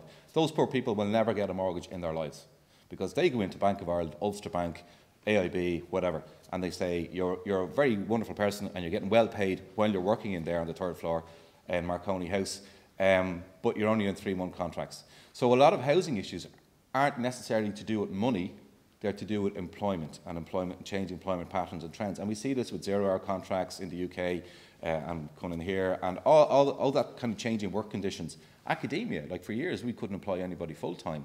It was all on contract. So you could have a PhD and be a really clever person and go into the bank and say, well, you're earning X amount of money because it's a state job, but you're only there for three years. So why would we give you a mortgage? So there's a whole generation of people who will be renting for a long, long time. And these are the kind of facts that we need to, to look at. Um, you know, the last sentence said 18.5% of people are, are, households are renting. That's going to be increase. That's going to increase, I think, at this census, and it will continue to in increase in line with European and global patterns everywhere. We're not odd here. We're just catching up because we've always been late to the party. So we need to accept these facts that the rental sector is going to be in incredibly important. Um, I think we need to accept the fact that there's going to be housing support uh, for a lot of people, and that, that we need to do that. So we have to look at some, some kind of accept these realities. Um, there's also a reality about how bad we are at managing our housing. Do you know how many houses become obsolete every week in Ireland? Can you consider when I was listening to Peter at the start saying about eight, eight families or eight people a day become homeless? 190 houses per week in Ireland become obsolete. Per week. That's nearly one third or one quarter, depending on what figure you use, of our total housing need every year. We are really poor at managing what we have. And we're afraid to grasp the nettle of things like property tax, a serious property tax. If you had to pay two or three grand a year for every house that you had and you weren't bothered putting a tenant in it or using it, or falling, you'd pretty soon find a use for that house. So we, we kind of need to look at, uh, at those kind of things. Um, so there's a question of you know, facing up to the facts about life uh, and housing in Ireland, and the fact that the rental sector is going to be really important, the fact that we're bad at managing things, uh, and the fact that you know we need to address some of the, the, the, the issues around taxation and around a better use of the resources that we already have. Building is one part of the solution. Managing what we have is the other half of it. And we, could, we need to be able to do both a little bit better. Um, so that's kind of the, some of the questions about control, about how much control does the state have. Very little. The, the causes of demand, for example, I'll give you just, just to give you an idea of, of how, the, the, how the state, how come this won't go on? The state can't control things. Where's the lady who controls these things?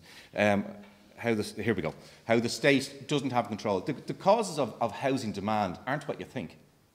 Okay, the last cause of housing demand is the fact that we have no houses, okay, or that we're not building. The first cause of housing demand is what's called the headship rate, and that's about people staying single, single for longer. One third of all our, our households are going to be single person.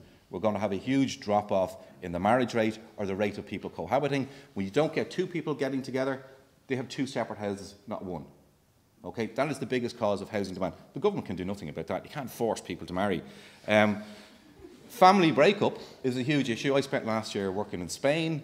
Uh, when they introduced their divorce laws, they had a huge housing problem because you had the couple that were living together, and now, oh, we can get hola, we can get divorced. Away they go like that, and they get divorced. The next thing they need two accommodation, two units instead of one. The state can do nothing about that. And then you have empty nesters and, and people like that. Obsolescence at, a, at depending on what figure you look at, but in around eight to 10,000 houses a year. Okay, now the state could do something about that. Population growth, the state can't do anything about. But next year we're going to see net immigration into Ireland, okay, by about 16,000 people. Most of them are going to come to Dublin because this is where the work is. Um, the state can do very little about that unless we want to go Brexit and kind of put up borders and all that kind of crack. And the last one then is immediate demand. And the problem with immediate demand is great, and we're building, last year we built 12,666 houses. 47.6 of those were one-off houses in the countryside. So they don't come on the market. So essentially you have about 6,000 houses that we could offer to the populace to, you know, do you want to buy this house? Okay. So they're the causes of demand, and the state can do, you know, has control over only about a third of that. The big cause of demand, people staying single for longer, single forever, divorce, state can do nothing about that. And that's, they're all huge drivers of housing demand. The Oireachtas report on housing homelessness came out yesterday, and I had a chance to have a look at it, 161 pages. Uh, and I, the word, some journalist rang me yesterday and said, What do you think? And I couldn't come up with a word. Uh, and she had her thesaurus in front of her, and she said, How about underwhelmed? And I said, That is a wonderful word. I am underwhelmed by it. Um, and I just, to correct something Peter said, not to, to, to, to, to mark your card more than correct you, um, it said that they're going to tell local authorities to deliver 50,000 houses uh, over the next four years, right? The devil is in the detail here, the word deliver. If you read the small print uh, about that clause, it says to acquire, to refurbish, or build. I guarantee you they will be acquiring housing, houses left, right, and centre to fulfil that 50,000. That is not adding to the stock of houses that we have unless you add to the stock of the houses that we have, it's meaningless.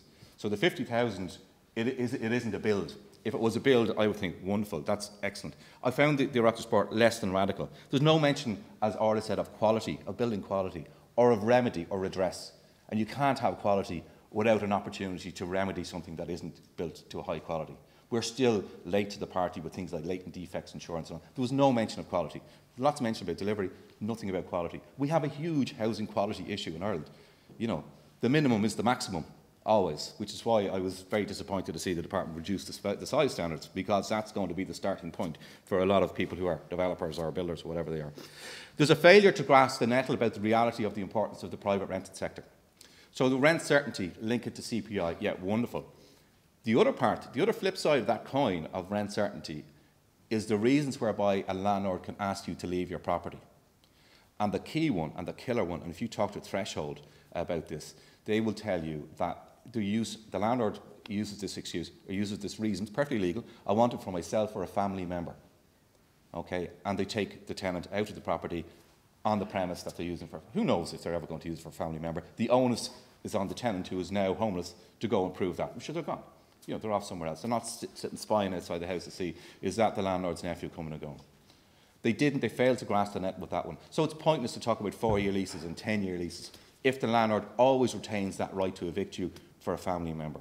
And you will not, not, never have a mature private rented sector unless you tackle the issue of security of tenure. And there are loads of ways to do it. My proposal at the moment is that any landlord who has more than three properties becomes a business, we give you 100% mortgage interest relief, and we'll give you the right to write off your expenses against your rental income, uh, but you lose the right to evict a tenant for, when the property is for sale or for a family member. And now you're making a decision. If I have three properties, it's a bit of a pension pot. If I have more than three properties, I'm now a business, and business rules apply. But the government or the Oireachtas committee, it was really weak on that. I thought that was terrible. So, and the reality is we're going to need a private rented sector for about a third of all the population. Right now, 3% of the population, who are the landlords in Ireland, they're only 3%, uh, have the right, the legal right, to evict more than 20% of all households. And there's nothing we can do about it. And that, I thought that was uh, a, missed, a total missed opportunity. I'm probably going way over 10 minutes here, am I? Okay. So we need to acknowledge the changing nature of, of the housing system. And it is changing. It's nothing that we haven't seen the world over. You go to Europe, you'll see the, the system has changed, but probably 50 years ago, and we're catching up now because, mostly because of our obsession with home ownership. And it's not, it's, it's a very understandable obsession when you think about the way our pension scheme is structured around having an asset, the way our fair deal scheme for your health is structured around having an asset. It's understandable that everybody wants to own their own home. You don't want to be 66 in Ireland and renting, to be perfectly frank. And you definitely don't want to have a health problem, 66 and renting in Ireland. So we need to kind of look at the private rented sector uh, and see how we can move it on. So the reality is the state needs to kind of grasp the changing nature of the housing system for people, and people themselves must accept the fact that you know, about one third of people are never going to own their own property. So the state needs to help this out, help, help make that happen in a reasonable way where you might own, but you will always be able to live there. I think builders need to accept, or those in the development industry need to accept the new reality. There's new financial uh, reality out there about profit margins, for example. There's new building techniques that they're not even looking at. We're still building houses, and Derek will probably correct me here, but we're still building houses as far as I can see the way we did in the 60s and 70s. Apartment design hasn't moved on in 15 years, as far as I can see. Um, so there's new realities for builders. The, the, the, I have this out Tom Parlon regularly. Uh, the construction industry is busy looking for everybody else to solve its problems, and there's very little self-reflection going on. And I think the building industry would do well to have a look at itself and see how it can contribute to solving the housing process. For the state, um, security of tenure is not an option uh, for the state. It, it, has to happen. We have to have security of tenure, and the state needs to step up uh, to the plate there. It's good uh, that research is coming to the fore. The department, just close your ears here, Sarah, for the next 15 seconds. The, the department's research, in inverted commas, on, the, on reducing the apartment size standards was embarrassing. I would have failed a first year undergraduate student if they'd come up with something like that, to be perfectly frank. Go and look at it online, have a look at the research that un underpins the research, uh, and it was awful absolutely awful. And this is now the new reality. And it was underpinned by ministerial, uh, by, by, like the, the department broke its own rules on, on so many aspects, no regulatory impact assessment, no public consultation, spoke to the architects, spoke to the CIF, spoke to Property Industry Ireland. Did it speak to any threshold? Did it speak to Peter? Did it speak to anybody who represents tenants or anybody? No, absolutely not. Uh, and then it was underpinned by ministerial guidelines that are now mandatory. So we have the oxymoron now of mandatory guidelines uh, to enforce them, which I thought was pretty poor. The, the other thing is housing support is going to be a reality, and I'm just going to finish on this. Actions have consequences, right? So it's all very well for me to talk about, you know, delivering housing and all that. There will be costs for all of us here. You know, and the reality is that we're probably going to have to accept that we're not going to be as wealthy as we were before, uh, and there might be a percent or two uh, uh, in income tax extra that we have to pay. But uh, you know, these things don't come free. PPPs are not the answer. That's like buying houses on your credit card we're very bad at procurement here. Less than 25% of all people in the state, in, Ireland, in, in the state uh, public sector in, in Ireland who are involved in procurement have any form of training in it, not even a weekend course. And yet we're out, you know, contracts for hundreds of millions with no training in this. So we're going to get fleeced. Uh, so PPPs are not the answer. There, there will have to be capital costs, uh, which are much cheaper than, than um, putting on PPPs. But the reality is that us as taxpayers, we're probably going to have to bear the brunt of some of that out of our pockets. I'm happy to do that, but the question is, you know, are we as a society happy to do that? Okay, I'll leave it at that. Thank you very much.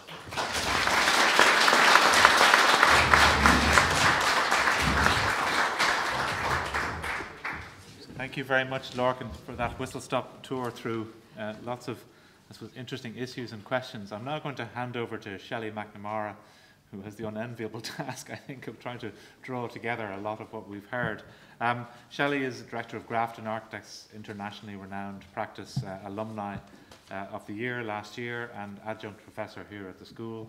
Um, I'm delighted to have her here this morning to offer her thoughts on what we've heard uh, and what we can do now.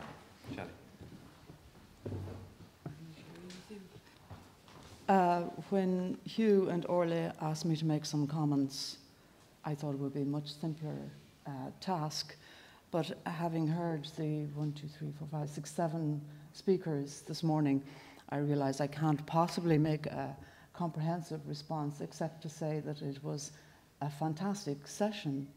And in a sense, I think what has made it really important is the diversity of, uh, of, of, of, points of view and um, the diversity of the ideas. And I find the contradictions, in a way, as interesting as the points of uh, agreement.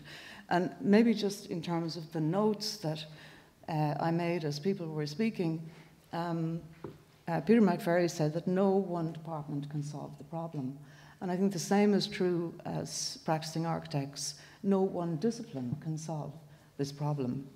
And um, he spoke about the fact that DCC don't want to build social housing, don't want to get involved in it again, which is an extraordinary diagnosis of our situation, given that we've come from a legacy of public um, resort, public um, housing having been built by the state, and now it's completely privatized. And then, in, in and the, the, the, other thing I thought was interesting was touching on not wanting to renovate uh, existing buildings, which came up again and again in other uh, presentations. And then, in terms of Sarah, it's really interesting because then directly you were saying that we will be relying on the private sector. So it's the exact opposite to perhaps what did happen or what maybe could or should happen. Uh, it was very interesting because you were speaking about a greater mix uh, of uh, typologies and uh, about the importance of uh, good design. And one of the things I was thinking about was that it, there's something about the way that the word design is used when we speak about architecture, and somehow it's perceived that design is something that comes after everything else is decided, that it's not understood that uh, architects have the capacity to get involved way before design. And that perhaps that is the secret of what Alan and Aisling were speaking about, which is that we're building communities. We're not just building houses or we're not just building apartments.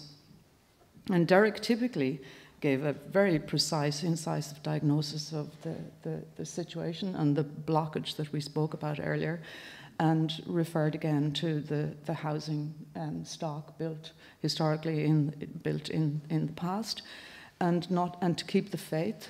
And, and I suppose the thing that was really important, which I thought related to, um, to uh, Orla's um, presentation, was a thing about being honest about the time scale and also about the radical rethinking of procurement and perhaps simplifying what is a huge problem into something more manageable that it could be divided into a certain number of projects which are uh, of a manageable scale. And I found that really, um, really uh, interesting about Orla's presentation about economies of scale. And it's I suppose what was also really refreshing about the presentations this morning is that they weren't opinions, they were statistically based. And so it's not just someone's opinion, it's, it's a kind of reality.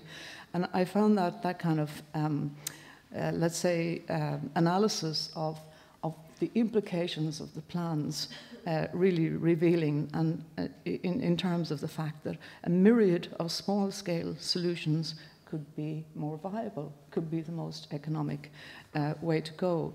And I think a lot of people in this room would feel that the more organic uh, approach to, uh, to the making of housing is possibly much more manageable and much more will lead to, to, uh, to making of more uh, successful communities. When we talk about building communities, that's probably the, the most difficult task for an architect or for, for the, the, the people involved in, in housing. Um, Florian Beigel, an architect whom we all admire, says that the term housing should be banned because it suggests that it's to do with the, uh, it's not like in other languages, it's habitat, in, it's Wohnung, which means habitat, which is a place to live. And um, Adrian Forty, uh, writer on architecture, talks about the history of comfort, and that comfort historically wasn't physical, but was social, that you would feel at home in your uh, community. So perhaps in terms of our um, our standards and our regulations, that the, the phenomenon of the community should be also uh, thought about, uh, and not just the, the, the, the, standards, the physical standards of um, which are hugely important, of course. I, I heard um, terms which I'd never heard before. Um, somebody used the term. Uh, uh, was it the was it the industry of of of uh, home the growth in the homeless industry, and uh, one of the things that I found really interesting about Alan and Aisling's presentations was that in some way they supported uh, what um, what uh, Peter McVerry was saying, and also what uh, Lorcan was saying at the end is whose responsibility is it? Are we are we actually? I mean, what came across to me this morning was the words like um, the, the tenancies having to, a tenancy union to fight the private sector. So the idea that the housing is being built by a sector that one has to fight against as opposed to being supported by is somehow um, a question we should uh, think about. Um, and I, maybe, maybe a lot of what has been talked about this morning comes back to that uh, question of, of communities, that we're building communities and not just housing. And whose responsibility is it? And are we in a situation where everything is being over privatized and the implications of this are just staring us in the face? Thank you.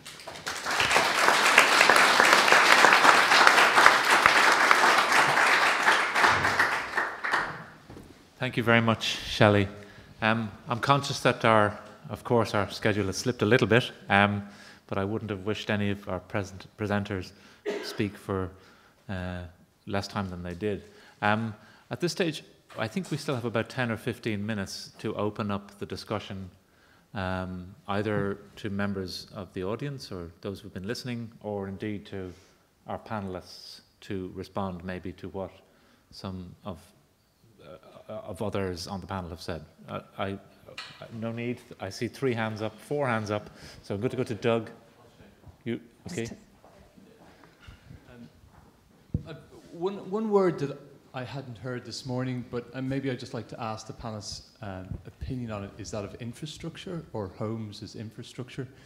Um, that might there be, uh, particularly thinking about the role of engineers or the role of, of planners, and we, in this country that we seem to be very effective at building roads, uh, very effective at building very big, uh, you know, impressive roads at, at, kind of high levels of European standards.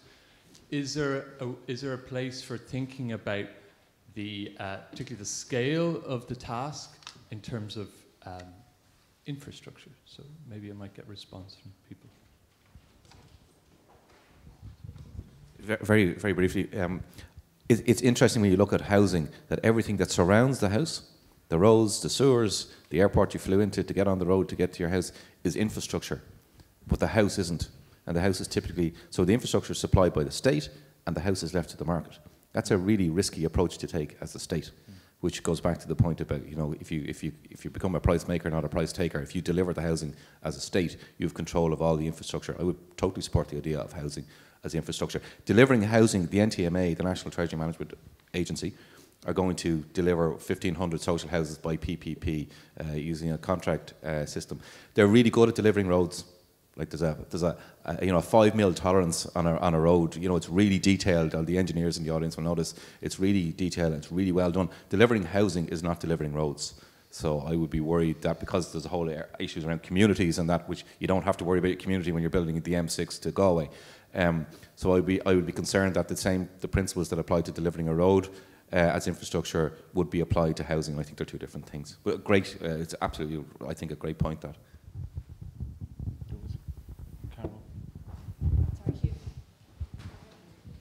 Hi, I just want to say who I am, so I want to make sure that my comment is from uh, the organisation. I'm Carol Pollard, I'm president of the Institute of Architects, so I'm just speaking, uh, speaking from that point of view. Um, I, since I became president, I have gone around the country meeting very, very, very many architects. So um, I just want to say that procurement is the biggest issue facing our, all architects in Ireland at the moment. And I just want to endorse what Derek said about it taking 18 months to appoint a, a design team. Um, and I just, the biggest loss that our country has at the moment in terms of the architectural talent that it has, and it is a seriously good talent, is, that if you haven't done it, you can't get on, on a procurement framework. And I think that is actually, that is just a crime. Um, I think that um, architects have the skills. Architects spend at least five years in college learning how to design, and they spend at least 75% of their time of those five years learning how to design. Every architect can design housing. Every architect can design small buildings of whether they be healthcare or libraries or community buildings or um, retail units or all architects can design these and the procurement system has to change to facilitate that. So I just want to uh, support Derek's idea of an architectural competition. Uh, the RIAI are fully behind that. We would be absolutely delighted to work with uh, any of the government departments that want to take that on. If, the, if local authorities can identify sites, we will run and manage a design competition and we will row right in behind it. Um, and uh, it will definitely generate a huge amount of public interest and engagement with the community and the people who need the housing most of all. Um, I just want to make a very small point about regulation. Uh, we are completely over regulated in this country in every single thing that we do. Um, and that uh, building is one of those things. It currently takes, uh, each house requires 35 separate certificates um, for its construction process. 35 certificates for each house. You can just imagine how much that slows up any process. And really, what does it deliver at the end of the day? When, if something goes wrong with your house, the only person who doesn't have insurance to help you put that right is the builder. All of the professions involved in construction have to carry professional indemnity insurance and they are subject to the Civil Liability Act, which is also known as the 1% rule. So if they can be seen to even be 1%, 1% responsible for any fault in a building, the, their PI insurance is the target for the person going after that. A builder has to have insurance for his employees, for public, if the public walking by get hit by something falling from his building site, and various other types of insurance, but he doesn't have to have any insurance for what he builds. So that is why um, things like Priory Hall and all those other terrible things have the effect that they do on people, and how the tenants and the owners who bought apartments in those developments are left in the terrible situation that they are left in. That needs to change.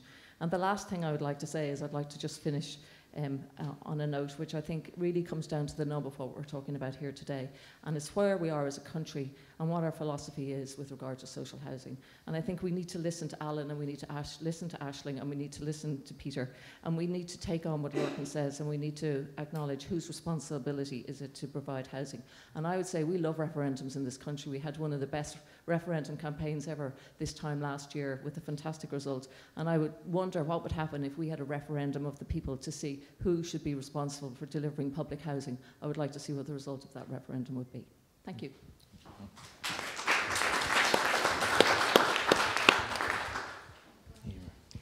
Um, it was stated here um, correctly, I think, that architects are good designers and can design many things, uh, not just the building itself, because designing is a skill. It's a skill of learning how to make decisions where you don't, where you only have partial information and where you really only have very partial control. I must say that this institution, School of Architecture, has not been good at that for the last 30 years. It has concentrated solely on the aesthetics of design, and that's partly why we are in this position today. But I would like to tell you that, that we are remedying that now. Those of us who are working in the design of systems that produce sustainable settlements, sustainable ways to live, we're willing to look at economics, money, that boring thing that we never looked at as architects, very interesting. It's also a big lie and can be redesigned to produce for our needs. So, just to cut to the chase, we've heard nothing about the problems here. Some of us have been working on solutions, not just in Ireland, through the world. Um, and these solutions have been tested in other places. The solution that we think is most important now—we've been meeting for a year, not just architects, but planners, um, housing associations, cooperatives, and so on, is the Community Land Trust. It's not a question of public and private. There is a third sector, and that's the commons. What we need to do to solve permanently our housing situation across all sectors is to take land out of the equation. And I disagree, Lorcan. There's no need for us working people to pay any more to do that. The value is in the land. All we do is take that back and we can deliver sustainable housing for everybody, for public sector housing, for social housing, for cooperatively built housing, which we're getting nothing done of in this country except one offs in the countryside, which are anti sustainable and destroy rural, rural communities. We can do that. Private sector housing for sale. So it's not just us boomers who can get to enjoy our own house and security in our old age. The next generation can, can also enjoy that. We don't have to take Berlin. We don't have to take Boston. We can look at Vermont, what Bernie Sanders did um, when he supported the Vermont Community Land Trust. And that community survived and thrived through the worst bust and boom. Not as bad as ours, but a bad bust and boom in, the, in America. The RIAI has been supporting us on this, but it's not an official RIAI proposal. And we're looking for support where we can get it. And it's extraordinary how difficult it is to get support, even from left wing thinkers in many cases, because it is a new idea. It, is, it does cross left and right. It is, we're talking a new sector here, a commons.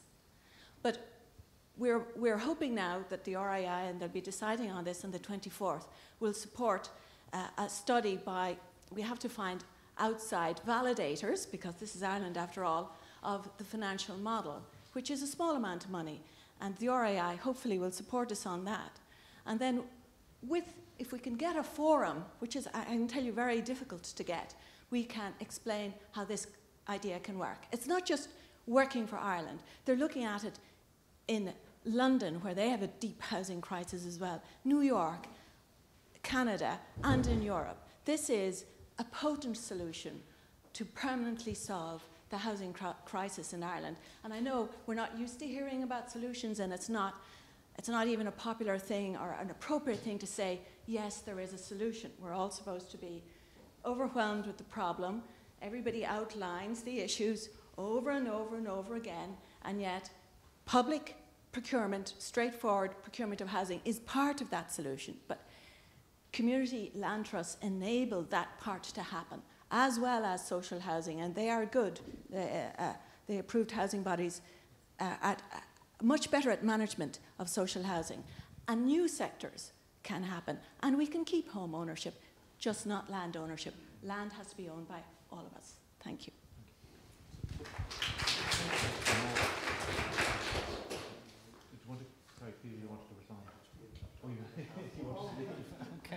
I'm conscious of time. Can, do, yeah, do, we can... at half one, so.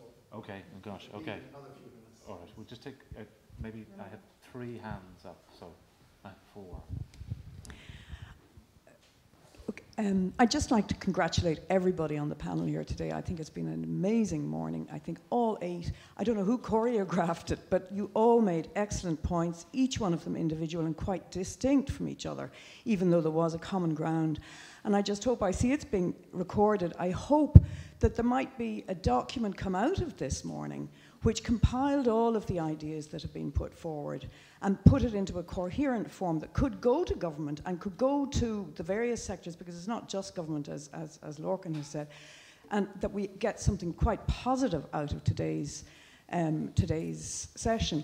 I've just one question, and that was a question for Lorcan, um, which was uh, I, I didn't quite understand your um, reference to the extent of obsolescence and how this obsolescence was coming about and what can be done about that obsolescence. Yeah, obsolescence uh, arises for lots of reasons. People inherit properties that, that don't live in the state. Uh, so you could have somebody living in Canada and inherits a house in Offaly. I'm sure they never visit it, and the house gets run down. You have people who have property who can't be bothered doing anything with it. It's a, it's a, it's a really interesting thing in a country with a housing crisis. But there are plenty of people who own properties uh, and they just can't be bothered doing anything with it because it's too much hassle to get it rented out. I'll leave it be for another few years. There's there's issues around when a change in regulation happens that can make a building obs- obsolete through no fault of its own, but through the change in regulation, you know, a higher standard is now required. Therefore, the building doesn't meet uh, the minimum standards. There are issues around that, and there's also issues about people, you know, having more property than they know and, and just letting it lie fallow. Uh, and if you travel around Ireland, my mum lives in the middle of Tipperary, and when I travel around Tipperary, it is shocking how many houses are empty, owned and empty, and sitting there and becoming uninhabitable through neglect and through a lack of care. And the way to solve that is, is back to the idea of like managing our housing is half the problem, I think, and the other half is building. But if you did, even if you had to pay 2,000 or 5,000 or whatever it is, uh, a large tax on every property that you had to own until you prove beneficial occupation, suddenly we'd find uses for all these kind of things. There is a shocking amount. The, the 10,000 a year, just for people, uh, it's, it's a CSO number. I'm not making that up. It's a Census Statistics uh, number that they use to, as a measure of our rate of obsolescence for our entire housing stock.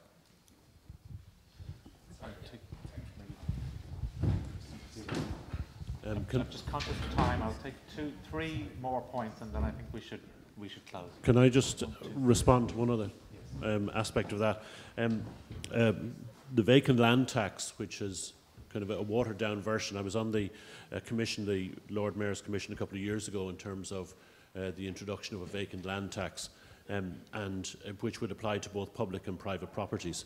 Um, and uh, there's a kind of slightly watered down version of that in the current in, in current legislation. But you could imagine how uh, a version of that could be used to bring uh, houses back into operation. In other words, as Lorcan says, if it was if they're empty and remain empty, then you know there, there's a tax which is paid on that, which is over and above any other property tax. And I think there might be a model in the vacant land tax um, that, that that could be used in that fashion. I'd like to uh, add to the last speaker. I think everybody today made brilliant points, and I do hope that they go somewhere. But one theme that ran through almost everybody's comments were the benefits of taking ownership of the social housing from a state perspective. And uh, for example, Peter started off talking about building social housing rather than relying on the private sector. Alan pointed out that you could build higher standard, more appropriate housing more efficiently compared to the kind that private sector might be aiming to cater to. And I just want to check if I misunderstood the government's position.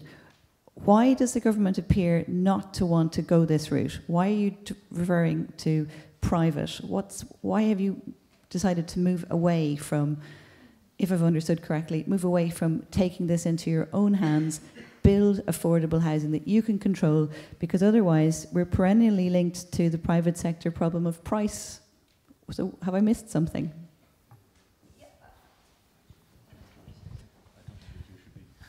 Look at it. I'll, I'll, um, I'll uh, from my perspective, I think um, there's been a lot of talk about privatisation of housing.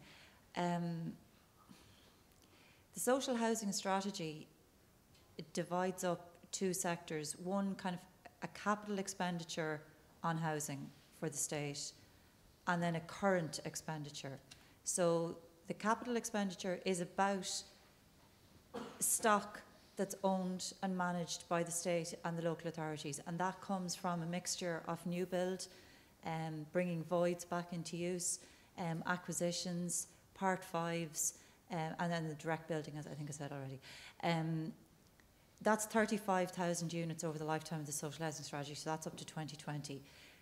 There's no departure away from um, social housing or the state providing housing for people um, that need it.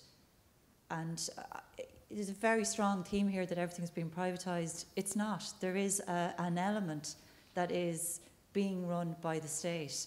Um, there is then the current expenditure is about supporting people who are in rental accommodation. So that's the affordable part of the jigsaw, if you like. Um, so the, the committee's, um, the Oireachtas committee's uh, proposals yesterday was to increase that kind of capital expenditure through a range of mechanisms, but will all ultimately be owned and managed by the local authority. So we haven't moved away from social housing, but there, are, there is another element to it, which is the current expenditure supporting people in private, um, private rental. And the, the whole private rental sector is being looked at. There are supports that are needed. There's, there's support for both sides of the equation in order for it to work. Um, and, and that's that is a, a major focus of the, the housing action plan, um, along with regeneration and the use of vacant units. Um, a, a lot of the, the comments there today are, are, you know, have been heard and have been, are being incorporated. Um, so I suppose that's, that, I don't know if that answers your question or.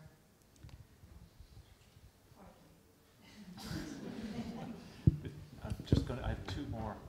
I'd have to close it then because I'm conscious that people have other commitments. Um, I have a three part question to put forth to the panel.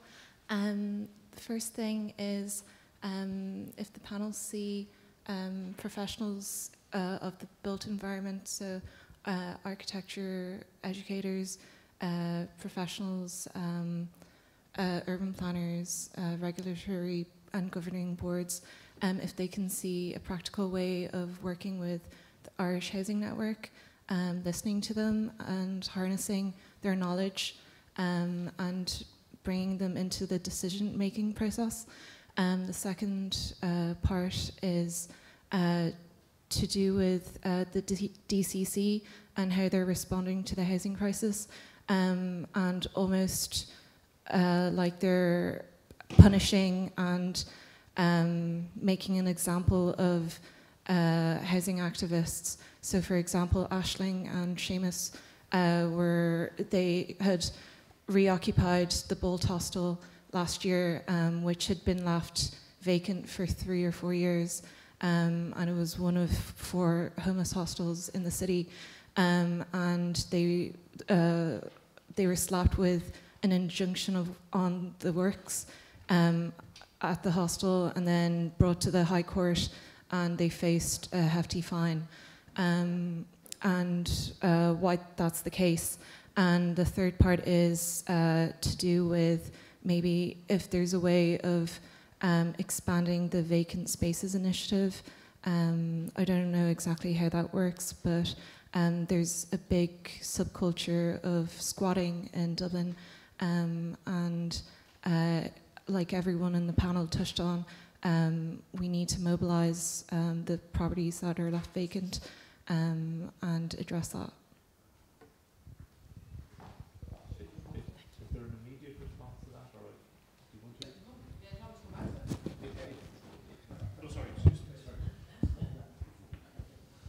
As for the first part of our question, working with the Irish Housing Network, as you know, we're a collective. We're willing to work with anyone. We've we've been to housing forums where there's a wide variety of people and everyone can have their input and I think it's a pity when there, there is developments coming along that all these people ain't sat down with the local community which would probably provide for much more sustainable communities instead of building them and leaving them there to find their own feet with lack of services and all. So for the first part of your question, I think it would be safe to say now, as we're the collective, me and Aisling can't answer for the housing network because everything has to be voted on and everyone has to row in. But I couldn't see a problem if any group of interested individuals wanted to sit down with us and discuss their ideas on housing, that'd be more than welcome. I'll give it over to Aisling now to answer your question about we just got we are linked in with Minute uh, geography section as well, so we would be open to working with different areas, especially across the universities. Um, second part about DCC, I have an awful lot of problems with the way DCC actually manage and hold their policies in how they conduct their services. I feel that um, an awful lot of people on the housing list are being punished because there's different ways that they could alleviate the housing crisis and stop controlling um, those that are most at need. I feel that um, I can start with like kind of you can't move outside Dublin city or you can't move county. So if you move county, you come off Dublin housing list and you start at the very bottom of another list, but you can't access um, supplements in another county unless you're six months on that county's list. So therefore, you need six months cash to move outside of the city or to move outside of the country. Um, if you're homeless down the country, you cannot move into Dublin and access the homeless services in Dublin. And if your home is in Dublin, you can't move outside. So it feels like they're containing the crisis and they're containing and controlling as many people as possible that they can. So once again, it comes to management of people more so than management of properties. Um, as for what happened with the Bolt, it was this time last year we decided we were having so many cases coming forward to us that couldn't access emergency accommodation and this is still ongoing. We have families that are on self accommodate, which means that you have to ring around hotels. You don't even get a list of a hotel that you have to ring. You have to ring around as many hotels as you possibly can on the hope that you might get a bed for the night. So you could be on the street with two children. Um, and no help, no supports. And if not, they expect you to go sofa surfing on friends, families. And it can get a bit draining because it'll be continuous. It can be up to six weeks before you actually access a hotel room. Um, and then you have the hostel situation where they're usually allocated by Dublin City Council. You have to prove why you're homeless, how you became homeless, um, and if they find that you left your home, they won't give you or allocate emergency accommodation either. And you could leave your home for many different reasons. There could have been abuse, there could have been drug use, there could have been the landlord eviction, an illegal eviction, um, and all among them.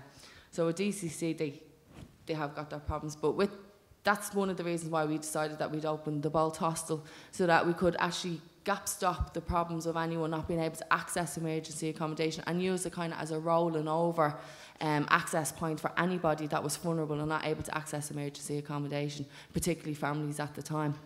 We held the building, perfectly great building. We had got homeless people staying in it and we moved them out. Two or three of them actually got into the private rented sector, so they were happy enough with that. Unfortunately, we did get taken to court um, because we were told that Novas Initiatives were going to take over the building and actually supply it as a social housing apartment. To this day, it's still empty. Nothing has happened to that building. Um, we had offered to run the building, link in with the services, have a fireproofed, everything. We offered that to DCC, and unfortunately, they wouldn't take that. They just wanted us out with that building. So once again, all buildings that could be used should be used, and it will also help alleviate the services problem within the home sector time for one last um, point. Jim Roche from the School of Architecture DIT. Hugh, I've loads to say. I can't um, very interesting, and thanks to everyone for uh, all the information. Uh, I think ultimately it's not a design problem, except in the largest understanding of design. I, I don't think it's about the design of the housing units themselves. I think there's lots of wonderful exemplars out there that we can draw on, uh, unless some new wonderful material is going to be invented where we, we can possibly uh, digitally print new housing schemes to speed up the process. Or I really like Derek's thing on the fire regs. I think that does have to be addressed. So ultimately, it's not a design problem, though. It's a political and social problem. And uh, I think we need political and social solutions. And one of them has to be about this issue of affordability. This comes up all the time. Why are, are uh, builders and developers building offices now? Lots of them. They're not building housing, which is in such need. And the answer has to be they can make more profit doing that. So we need a change in policy to address that.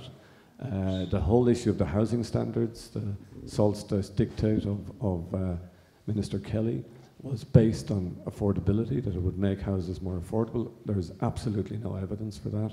So we need, we need to see the information from the CIF of how much it costs to build a house and where the hidden costs are. And I agree with Emer at the back there. I think a lot of it is in the land. And the land tax has been mentioned many times. I think we need to go beyond land tax. We need to acquire the land. And that comes back to Doug's point over here about infrastructure.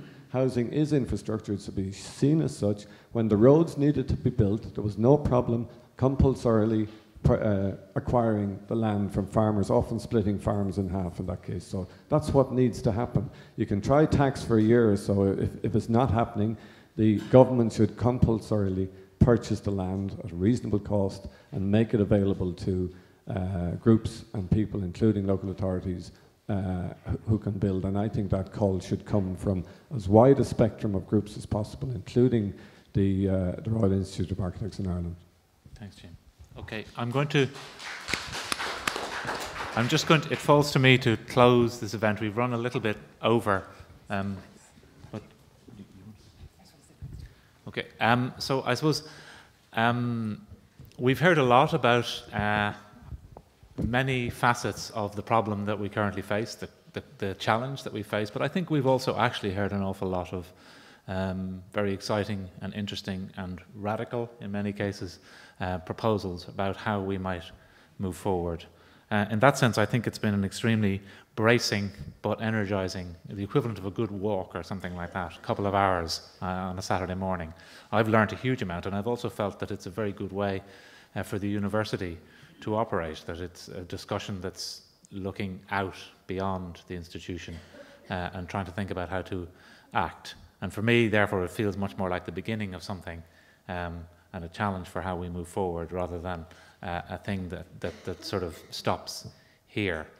I particularly would like to thank um, Fionnuala mentioned the kind of orchestration of the speakers. I was thinking, not to be facetious about it, but it's something like putting together a great album that you have to think about how you get one speaker to follow the next. And somehow it felt like listening to a great album this morning, um, with each speaker doing something different, but somehow linking to what had come before. And I think that falls particularly to Orla Murphy and Emmett Scanlon, who were instrumental in putting together this event. Um, and I would really like to thank them as well as Katie O'Neill uh, for their work in making all of this possible.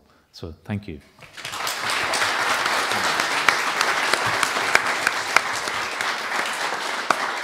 And of course, many, many thanks to all of our speakers uh, as well. I think I would just like to hand over to Orla at this stage for a final word. Thanks, Hugh. I won't keep you more than a minute, but I really just wanted to say uh, a big thank you from my own point of view uh, particularly to all of our panelists today who came on board on a Saturday morning in June, on the morning of a major football match which is going to start shortly. Um, so I really just want to thank you very much for your considered uh, responses to the questions, sticking to the time. Um, thank you very much, particularly to Shelley and Lorcan, for also for responding to the exhibition. I want to thank our master's students for pulling together the exhibition, Um, and obviously my colleagues for uh, working on pulling that exhibition together and this event. And finally, Katie and Rebecca, particularly in uh, over in the marketing department for making it all look so professional. We usually do this much more kind of off the cuff kind of way, but this is, uh, it felt much more professional today, so thanks to them. Um, enjoy a picnic, I think, outside. Uh, the match is being shown on flat screens over in the main campus, and there's loads of other things going on all day um, throughout the whole campus. So thank you very much for coming, um, and we hope to see you again very soon.